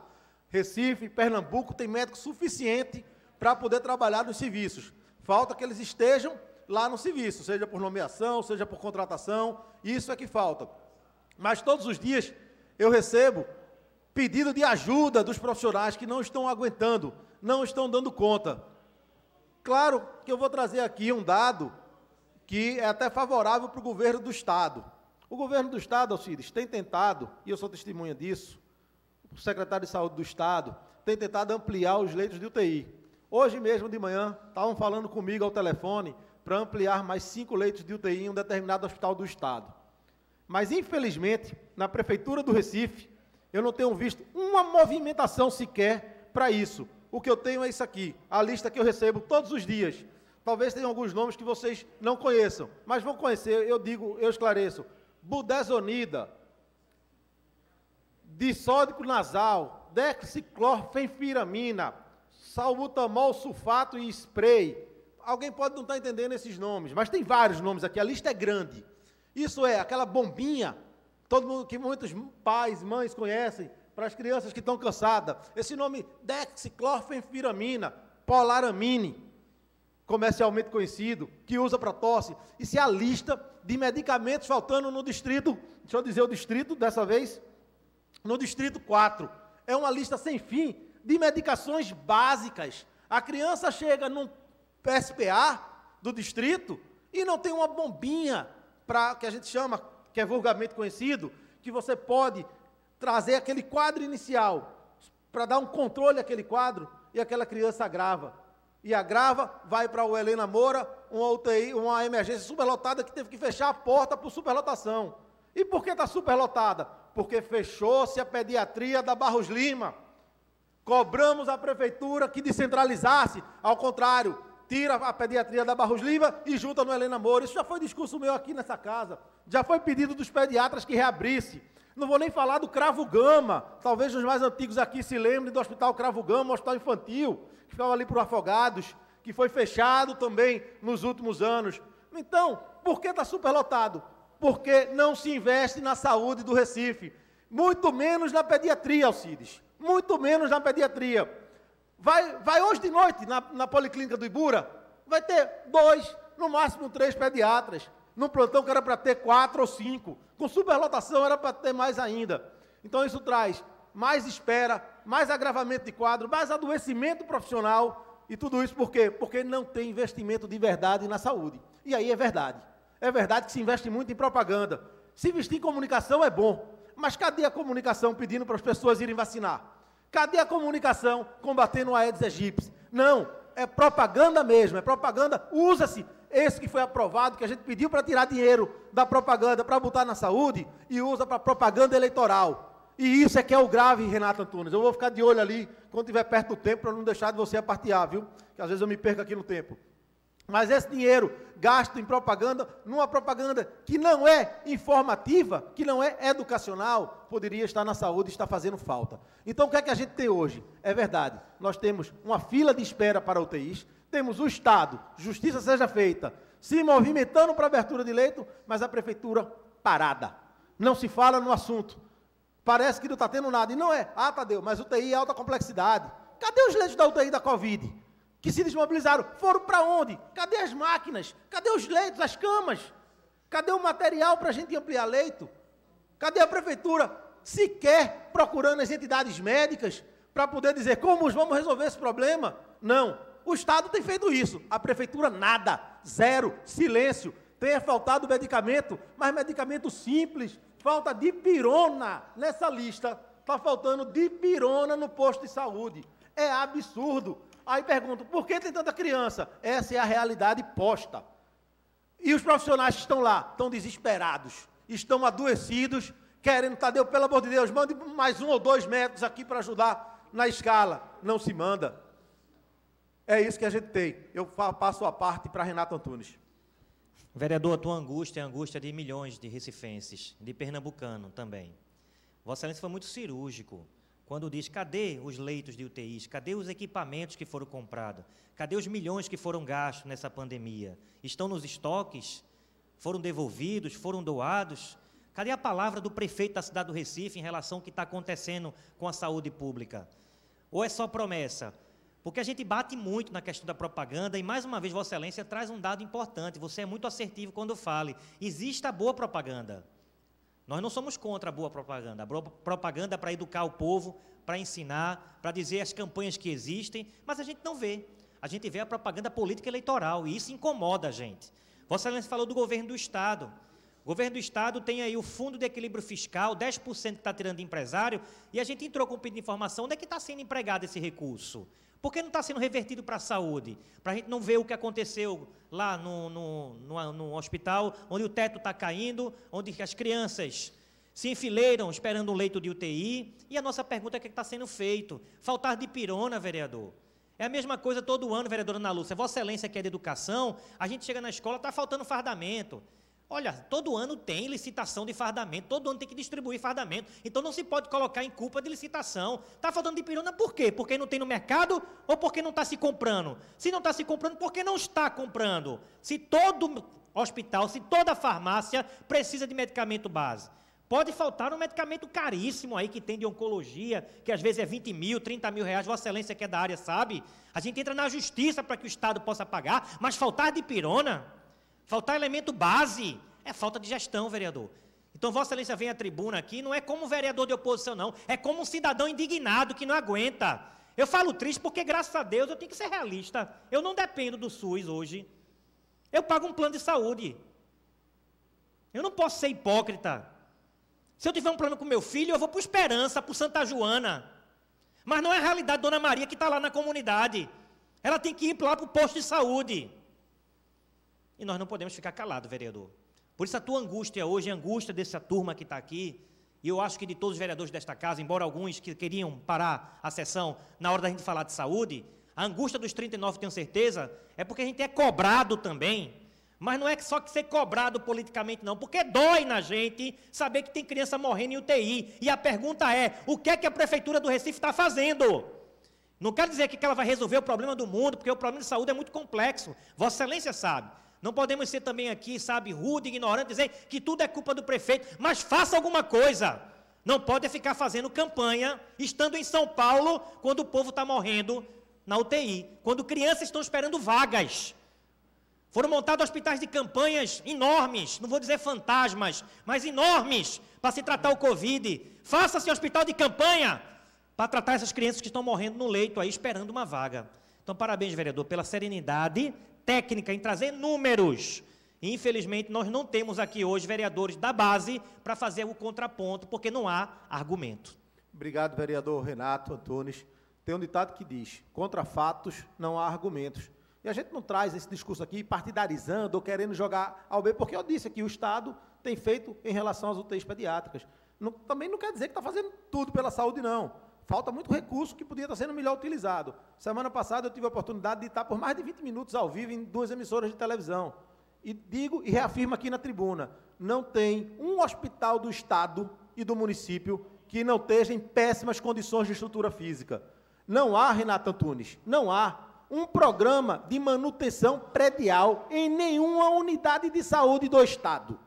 Isso deveria ser periódico. Por isso que o teto do HR caiu, estava no jornal de novo essa semana, terceira vez. Já vai pedir música no Fantástico, infelizmente.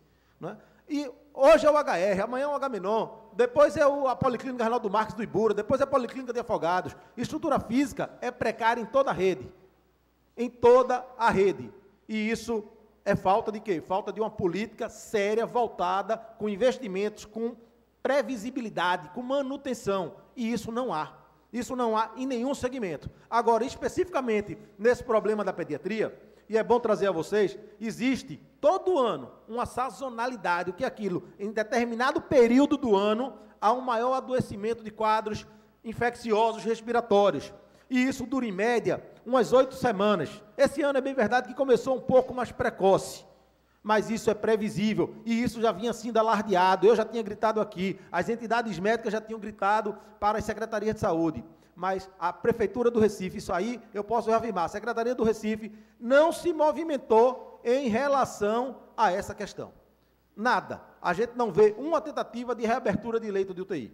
A gente não vê um encaminhamento de equipamento, ora recentemente utilizado, para a rede pública. Então, contra fatos não tem argumento. Não tem, não vai ver. Esse, essa, esse microfone aí que Alcides vem buscar aí no tempo, que eu vou conceder agora, senão ele não fala. Depois eu continuo. Vai, Alcides. Muito obrigado, vereador Tadeu Calheiros. Eu quero assim só... Vereador, o, o tempo de a parte... Não, está 13 e 8 ainda. Ainda tem. É, Desculpe. É, eu venho aqui só contemplar, completar, na verdade, o que o vereador Renato Antunes falou. Veja só, hoje a oposição está aqui falando de um assunto muito sério. Né? Das crianças, dos hospitais, falta de medicamento, falta de leito, que é o mais importante, enquanto o prefeito está fazendo campanha, o ex-presidiário lá, ontem ele estava sentado em São Paulo, enquanto aqui faltavam 93 leitos para as crianças. E morreram duas já, de ontem para hoje, nessa doença. Mas, só recapitulando, por que não tem ninguém da situação aqui para defender? Porque não tem como defender, vereador Tadeu Calheiros. Não tem como defender. Entendeu? Não tem. Então, nossa voz está sendo mais forte e vai ser sempre mais forte. Mesmo com a minoria, a oposição sendo menor, mas não tem um aqui agora para rebater a gente. Eu falei, o senhor falou e ninguém aparteou. Por quê? Não tem como defender. Vai aparecer aí uma defesazinha no jornal. Vai aparecer. Eles inventam. A prefeitura manda pronta, porque eles não têm capacidade de fazer. Eles recebem da prefeitura e assinam. Só. Ou um ou outro. Ou um ou outro assina mas capacidade não tem. Quando leio a, a defesa, eu vejo que não é capacidade do próprio, que está ali assinando aquela defesa. Muito obrigado. Obrigado, vereador Alcides. Pois é isso, contra fatos não tem argumentos, tá certo? Não tem realmente, Alcides, não tem como se defender o indefensável. Quem conhece o Recife, quem conhece a saúde pública do Recife, sabe o que a gente está falando e não tem como ser diferente. Tá? E a gente tem que ser propositivo, vereador Paulo Muniz. A gente tem que ser propositivo. O que é que é proposição nesse momento? Nesse momento é abertura imediata de leite de UTI. A prefeitura tem que buscar a abertura imediata de leito UTI. A prefeitura tem que abastecer as unidades de saúde com mais profissionais. A gente defende concurso público, mas nesse momento precisa colocar profissionais extras, profissionais com contrato temporário, para suprir imediatamente as emergências para que elas não fiquem fechadas. E isso é urgente. Isso é para hoje, não é para amanhã, não. Isso é para hoje, na ordem do dia. E abastecer as farmácias abastecer com medicações que podem evitar o agravamento de uma crise asmática, por exemplo, de uma crise bronquispástica, que é quando o pulmão fecha por causa de um quadro viral, aquela medicação vai reverter e vai evitar um agravamento do quadro. Então, abastecimento de farmácia, colocação de profissionais na ponta para suprir a demanda de forma emergencial e abertura de leito de UTI também na rede municipal é para a ordem do dia e a gente usa essa tribuna para que chegue na prefeitura, que eu tenho certeza que vai ter sensibilidade para, no mínimo, fazer uma reunião de emergência e começar a tratar o assunto com a urgência que esse assunto merece. Obrigado. Próximo vereador inscrito sou eu, Ana Lúcia. Eu vou solicitar que o vereador Fabiano assuma a presidência.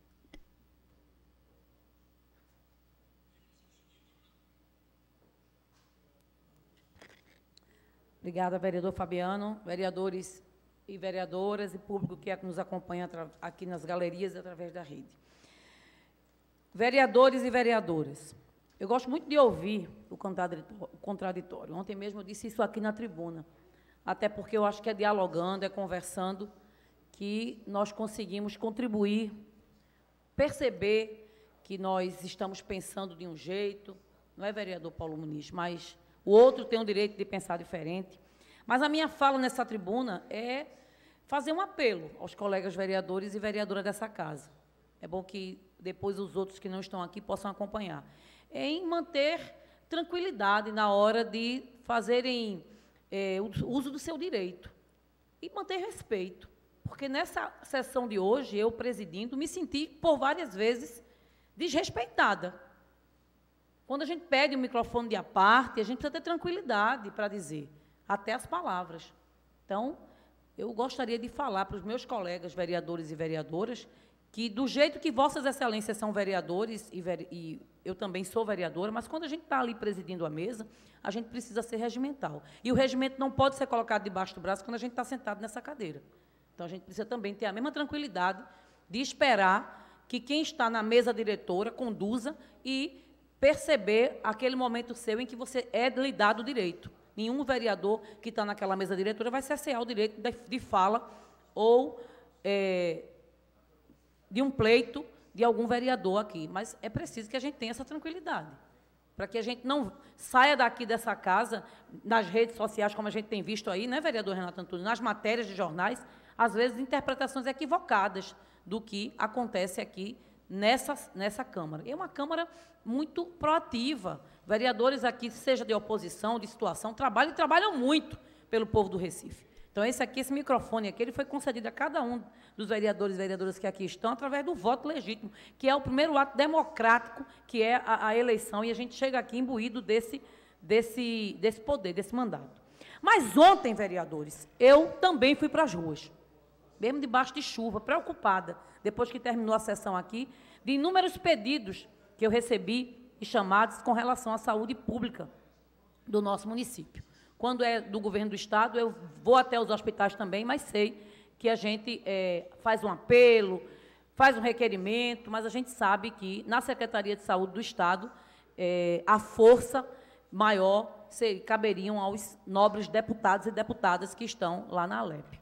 Mas eu mesmo assim estou lá, até porque sou cidadã e, imbuída de um mandato, eu tenho direito de buscar soluções para o povo. E ontem eu estive na policlínica, que fica ali em Água, Água Fria, Salomão Kellner. O doutor Tadeu deve conhecer bem. E eu estive ali debaixo de uma chuva terrível, torrencial. E eu quero aqui, antes de dizer que eu fui na Policlínica Salomão Kellner e vou em outras policlínicas, eu tenho uma equipe no nosso gabinete que trata especificamente de saúde, porque saúde e família está muito ligado família, saúde, criança, adolescente, educação, para que nós possamos dar as nossas contribuições. E eu estive ontem lá, a pedido das famílias, dos usuários da policlínica, dos profissionais, e antes de dizer que nós estamos vivendo, sim, um momento atípico, doutor Tadeu, Vossa Excelência é médico e sabe disso. É nos meses de março a junho que a gente tem a sazonalidade das gripes, né? Dos vírus por infecção respiratória. Eu sou mãe, e sei que de março a junho a gente vivencia dentro da nossa casa, vereadores, gripes, não é? aquelas tosses mais compridas que a gente tem que ficar observando se a febre perdurar desses três a cinco dias, procurar um posto de saúde E claro que nesse momento as famílias precisam do acolhimento, do atendimento devido e, se o caso agravar, como eu já tive um agravamento de saúde da minha filha, ter uma UTI para acolher essas famílias. Mas o surto que está acontecendo hoje, eu também procurei saber com outros especialistas, entrei em contato com o Conselho Regional, entrei em contato com a Secretaria de Saúde, esse surto ele é atípico. E quando acontece é, situações atípicas na saúde, é preciso que a gente tenha uma força-tarefa.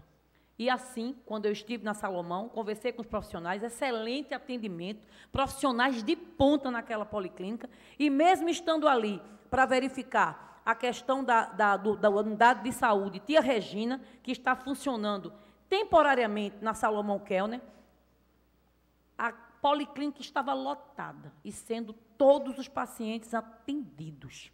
Claro, tem muita coisa que precisa melhorar na policlínica com relação à infraestrutura, e nós já solicitamos. Mas as famílias que ali chegaram, elas tiveram atendimento, estavam sendo atendidas com devidas, diversas eh, especialidades, inclusive o público da tia Regina, que estavam indo para o atendimento à parte. E nós fomos lá verificar o porquê que a obra da tia Regina está parada. Na mesma hora, eu entrei em contato com a secretaria para cobrar que a policlínica tivesse esse desafogamento, tendo em vista esse surto, e a secretaria me informou que já estão montando sim uma força-tarefa. E é esse o nosso papel: buscar soluções de continuidade para esses episódios que a gente se depara, porque não é tarefa fácil ser gestor, não. E as famílias precisam do serviço, sim, e serviço de qualidade.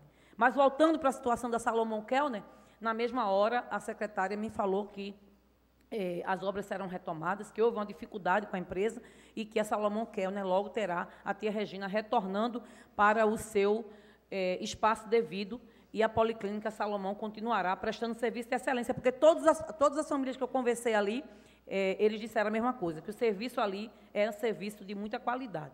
Claro que a demanda é grande e que quanto mais profissionais, inclusive tinham vários profissionais em atendimento, é preciso que a gente dê mais condições de trabalho. Mas eu também aproveitei para conversar com várias mãezinhas que estavam com bebês recém-nascidos naquele local. E eu perguntei se elas estavam sabendo do surto, que era importante que, nesse momento, elas procurassem unidades mais próximas de casa para evitar o deslocamento, para evitar a proliferação das viroses. E a gente percebe muita falta de informação. E é nesse ponto que eu quero tocar. A baixa adesão de vacinação das famílias, a gente também percebe nas unidades de ensino, vereador Renato Antunes. As famílias estão, infelizmente, com o estigma de que a vacina não surte efeito para as crianças. E é preciso, eu quero apelar aqui, claro, ao poder público, porque já entrei em contato com o Fred Amâncio, doutor Fred Amâncio, secretário de, de Educação, para que nós possamos agora somar forças para a gente conscientizar as famílias da importância da vacinação. Porque, inclusive, se a vacinação tivesse dado a cobertura abaixo de seis meses para essas crianças que hoje estão, infelizmente, com um caso mais agravado de bronquiolite, nós teríamos hoje é, o, o, impacto já nessa, nesses casos, que esse surto que tem sido acometido às nossas crianças. Então, a gente percebe aí a deficiência da informação, a informação chegando de forma equivocada, infelizmente, algumas pessoas vendendo a informação equivocada de que a vacina não serve para as crianças, que a vacina vai matar as crianças, que a vacina não vai surtir efeito e a gente sabe quão é importante a vacina. Eu quero ouvir, doutor Tadeu. Vereadora Ana Lúcia, primeiro, meus parabéns pelo seu trabalho. Fico feliz de saber que sei que a senhora teve ontem no Salomão Kel, né? Você está se procurando se informar e atuar na, na área da saúde, falando aí os termos corretos, a bronquiolite viral, que é que vem e traz esse quadro de cansaço. E eu vou ser bem breve para retornar o Por tempo para a senhora. É justamente nesse ponto, e foi quando eu trouxe problema da comunicação a gente precisa botar a vacinação dentro das escolas. A gente tem um projeto de lei que está tramitando nessa casa, que é para que vac... cada escola tenha uma semana de vacinação dentro da sua escola. Isso não vai onerar os custos. A gente pega o próprio corpo Perfeito. de profissionais que existem e ali não é só o ato de vacinar, porque tem que vir junto com a educação, porque tem que ter autorização dos pais. E sem educação a gente não vai mudar. Perfeito. A gente tem 15% só de cobertura contra a gripe. E esses quadros virais é que vão trazendo esses transtornos todos. A pneumococo, a gente está abaixo da média, que é outra vacina importante para essa, essa, esse momento é, sazonal de aumento dos quadros de infecções respiratórias. Então, a, a somar forças como o seu mandato, que é um mandato tão sério, trazendo ponto nesse assunto, eu acho que é o que a gente precisa. Não é aqui fazer um discurso. A gente se inflama porque eu sou profissional do SUS. Eu estou atendendo, eu estou ali naquele sofrimento diário. Então eu sei como é, não tem como não se é, condoer com isso, não se inflamar. Mas a gente precisa ser propositivo e eu peço esse apoio e contar com seu apoio, sua visita às unidades e buscar para que esse projeto, por exemplo, seja aprovado e colocado em prática, muda muito a realidade. Obrigado e parabéns, professora. Obrigado, vereador, doutor Tadeu Caleza. Eu incorporo totalmente a parte de Vossa Excelência. tenho muita honra de estar nessa legislatura contando com o mandato de Vossa Excelência, que é um mandato propositivo, é um mandato de quem tem conhecimento de causa. Vossa Excelência é doutor e está lá nos hospitais trabalhando. Eu tive a oportunidade de presidir algumas sessões de Vossa Excelência e vi o quanto o senhor tem pertencimento e tem muito, muito, mas muita bagagem e profissionalismo para tratar dessas pautas. E quando eu visitei o Salomão, não é minha, minha bandeira, mas é, foi a, a, a pedido da população mesmo. E nosso mandato está aí para atuar, para tentar somar, mas eu tenho certeza que Vossa Excelência tem muito mais propriedade do que nós que gostamos, amamos a educação, mas sabemos o quanto as famílias precisam desse serviço de excelência. Então, Vossa Excelência, eu volto para dizer o seguinte: é preciso que a gente saia com a campanha de urgência para que as famílias façam essa vacinação e conto comigo com o seu projeto de lei, mas a gente precisa se antecipar com uma ação imediata para as escolas.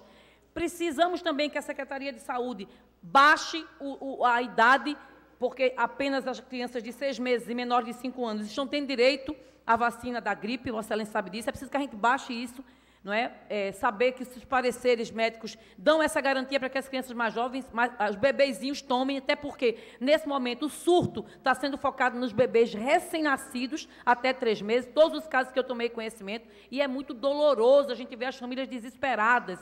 Eu vi a reportagem ontem, quando eu já tinha chegado em casa, e, e, e me emocionei muito em ver o desespero das mães à espera de um leito de UTI. Inclusive, aqui ontem pedia, hoje teve que enterrar o seu filho. Então, isso não é é, não é fácil para nenhum de nós, não é? Não é fácil a gente, é, a gente se inflama mesmo porque a gente sabe que precisa dar resposta à população e a gente se imbui da dor de compartilhar, porque a gente tem sede e fome de justiça. Então, a nossa fala é nesse sentido e fazer um apelo para que as famílias veem que os seus filhos estão gripados com alguns sintomas, não levem para a escola deixem em casa por dois, três dias. É importante isso, que a família cuide para que ele não possa levar a virose para outras crianças e fazer um apelo a todas as famílias. A vacina, historicamente, tem provado que nós ficamos distante das doenças quando o ciclo vacinal é, tem cobertura. Nós fizemos um, um, projeto de lei aqui nessa casa propondo que as escolas tivessem apresentação no, no ato da matrícula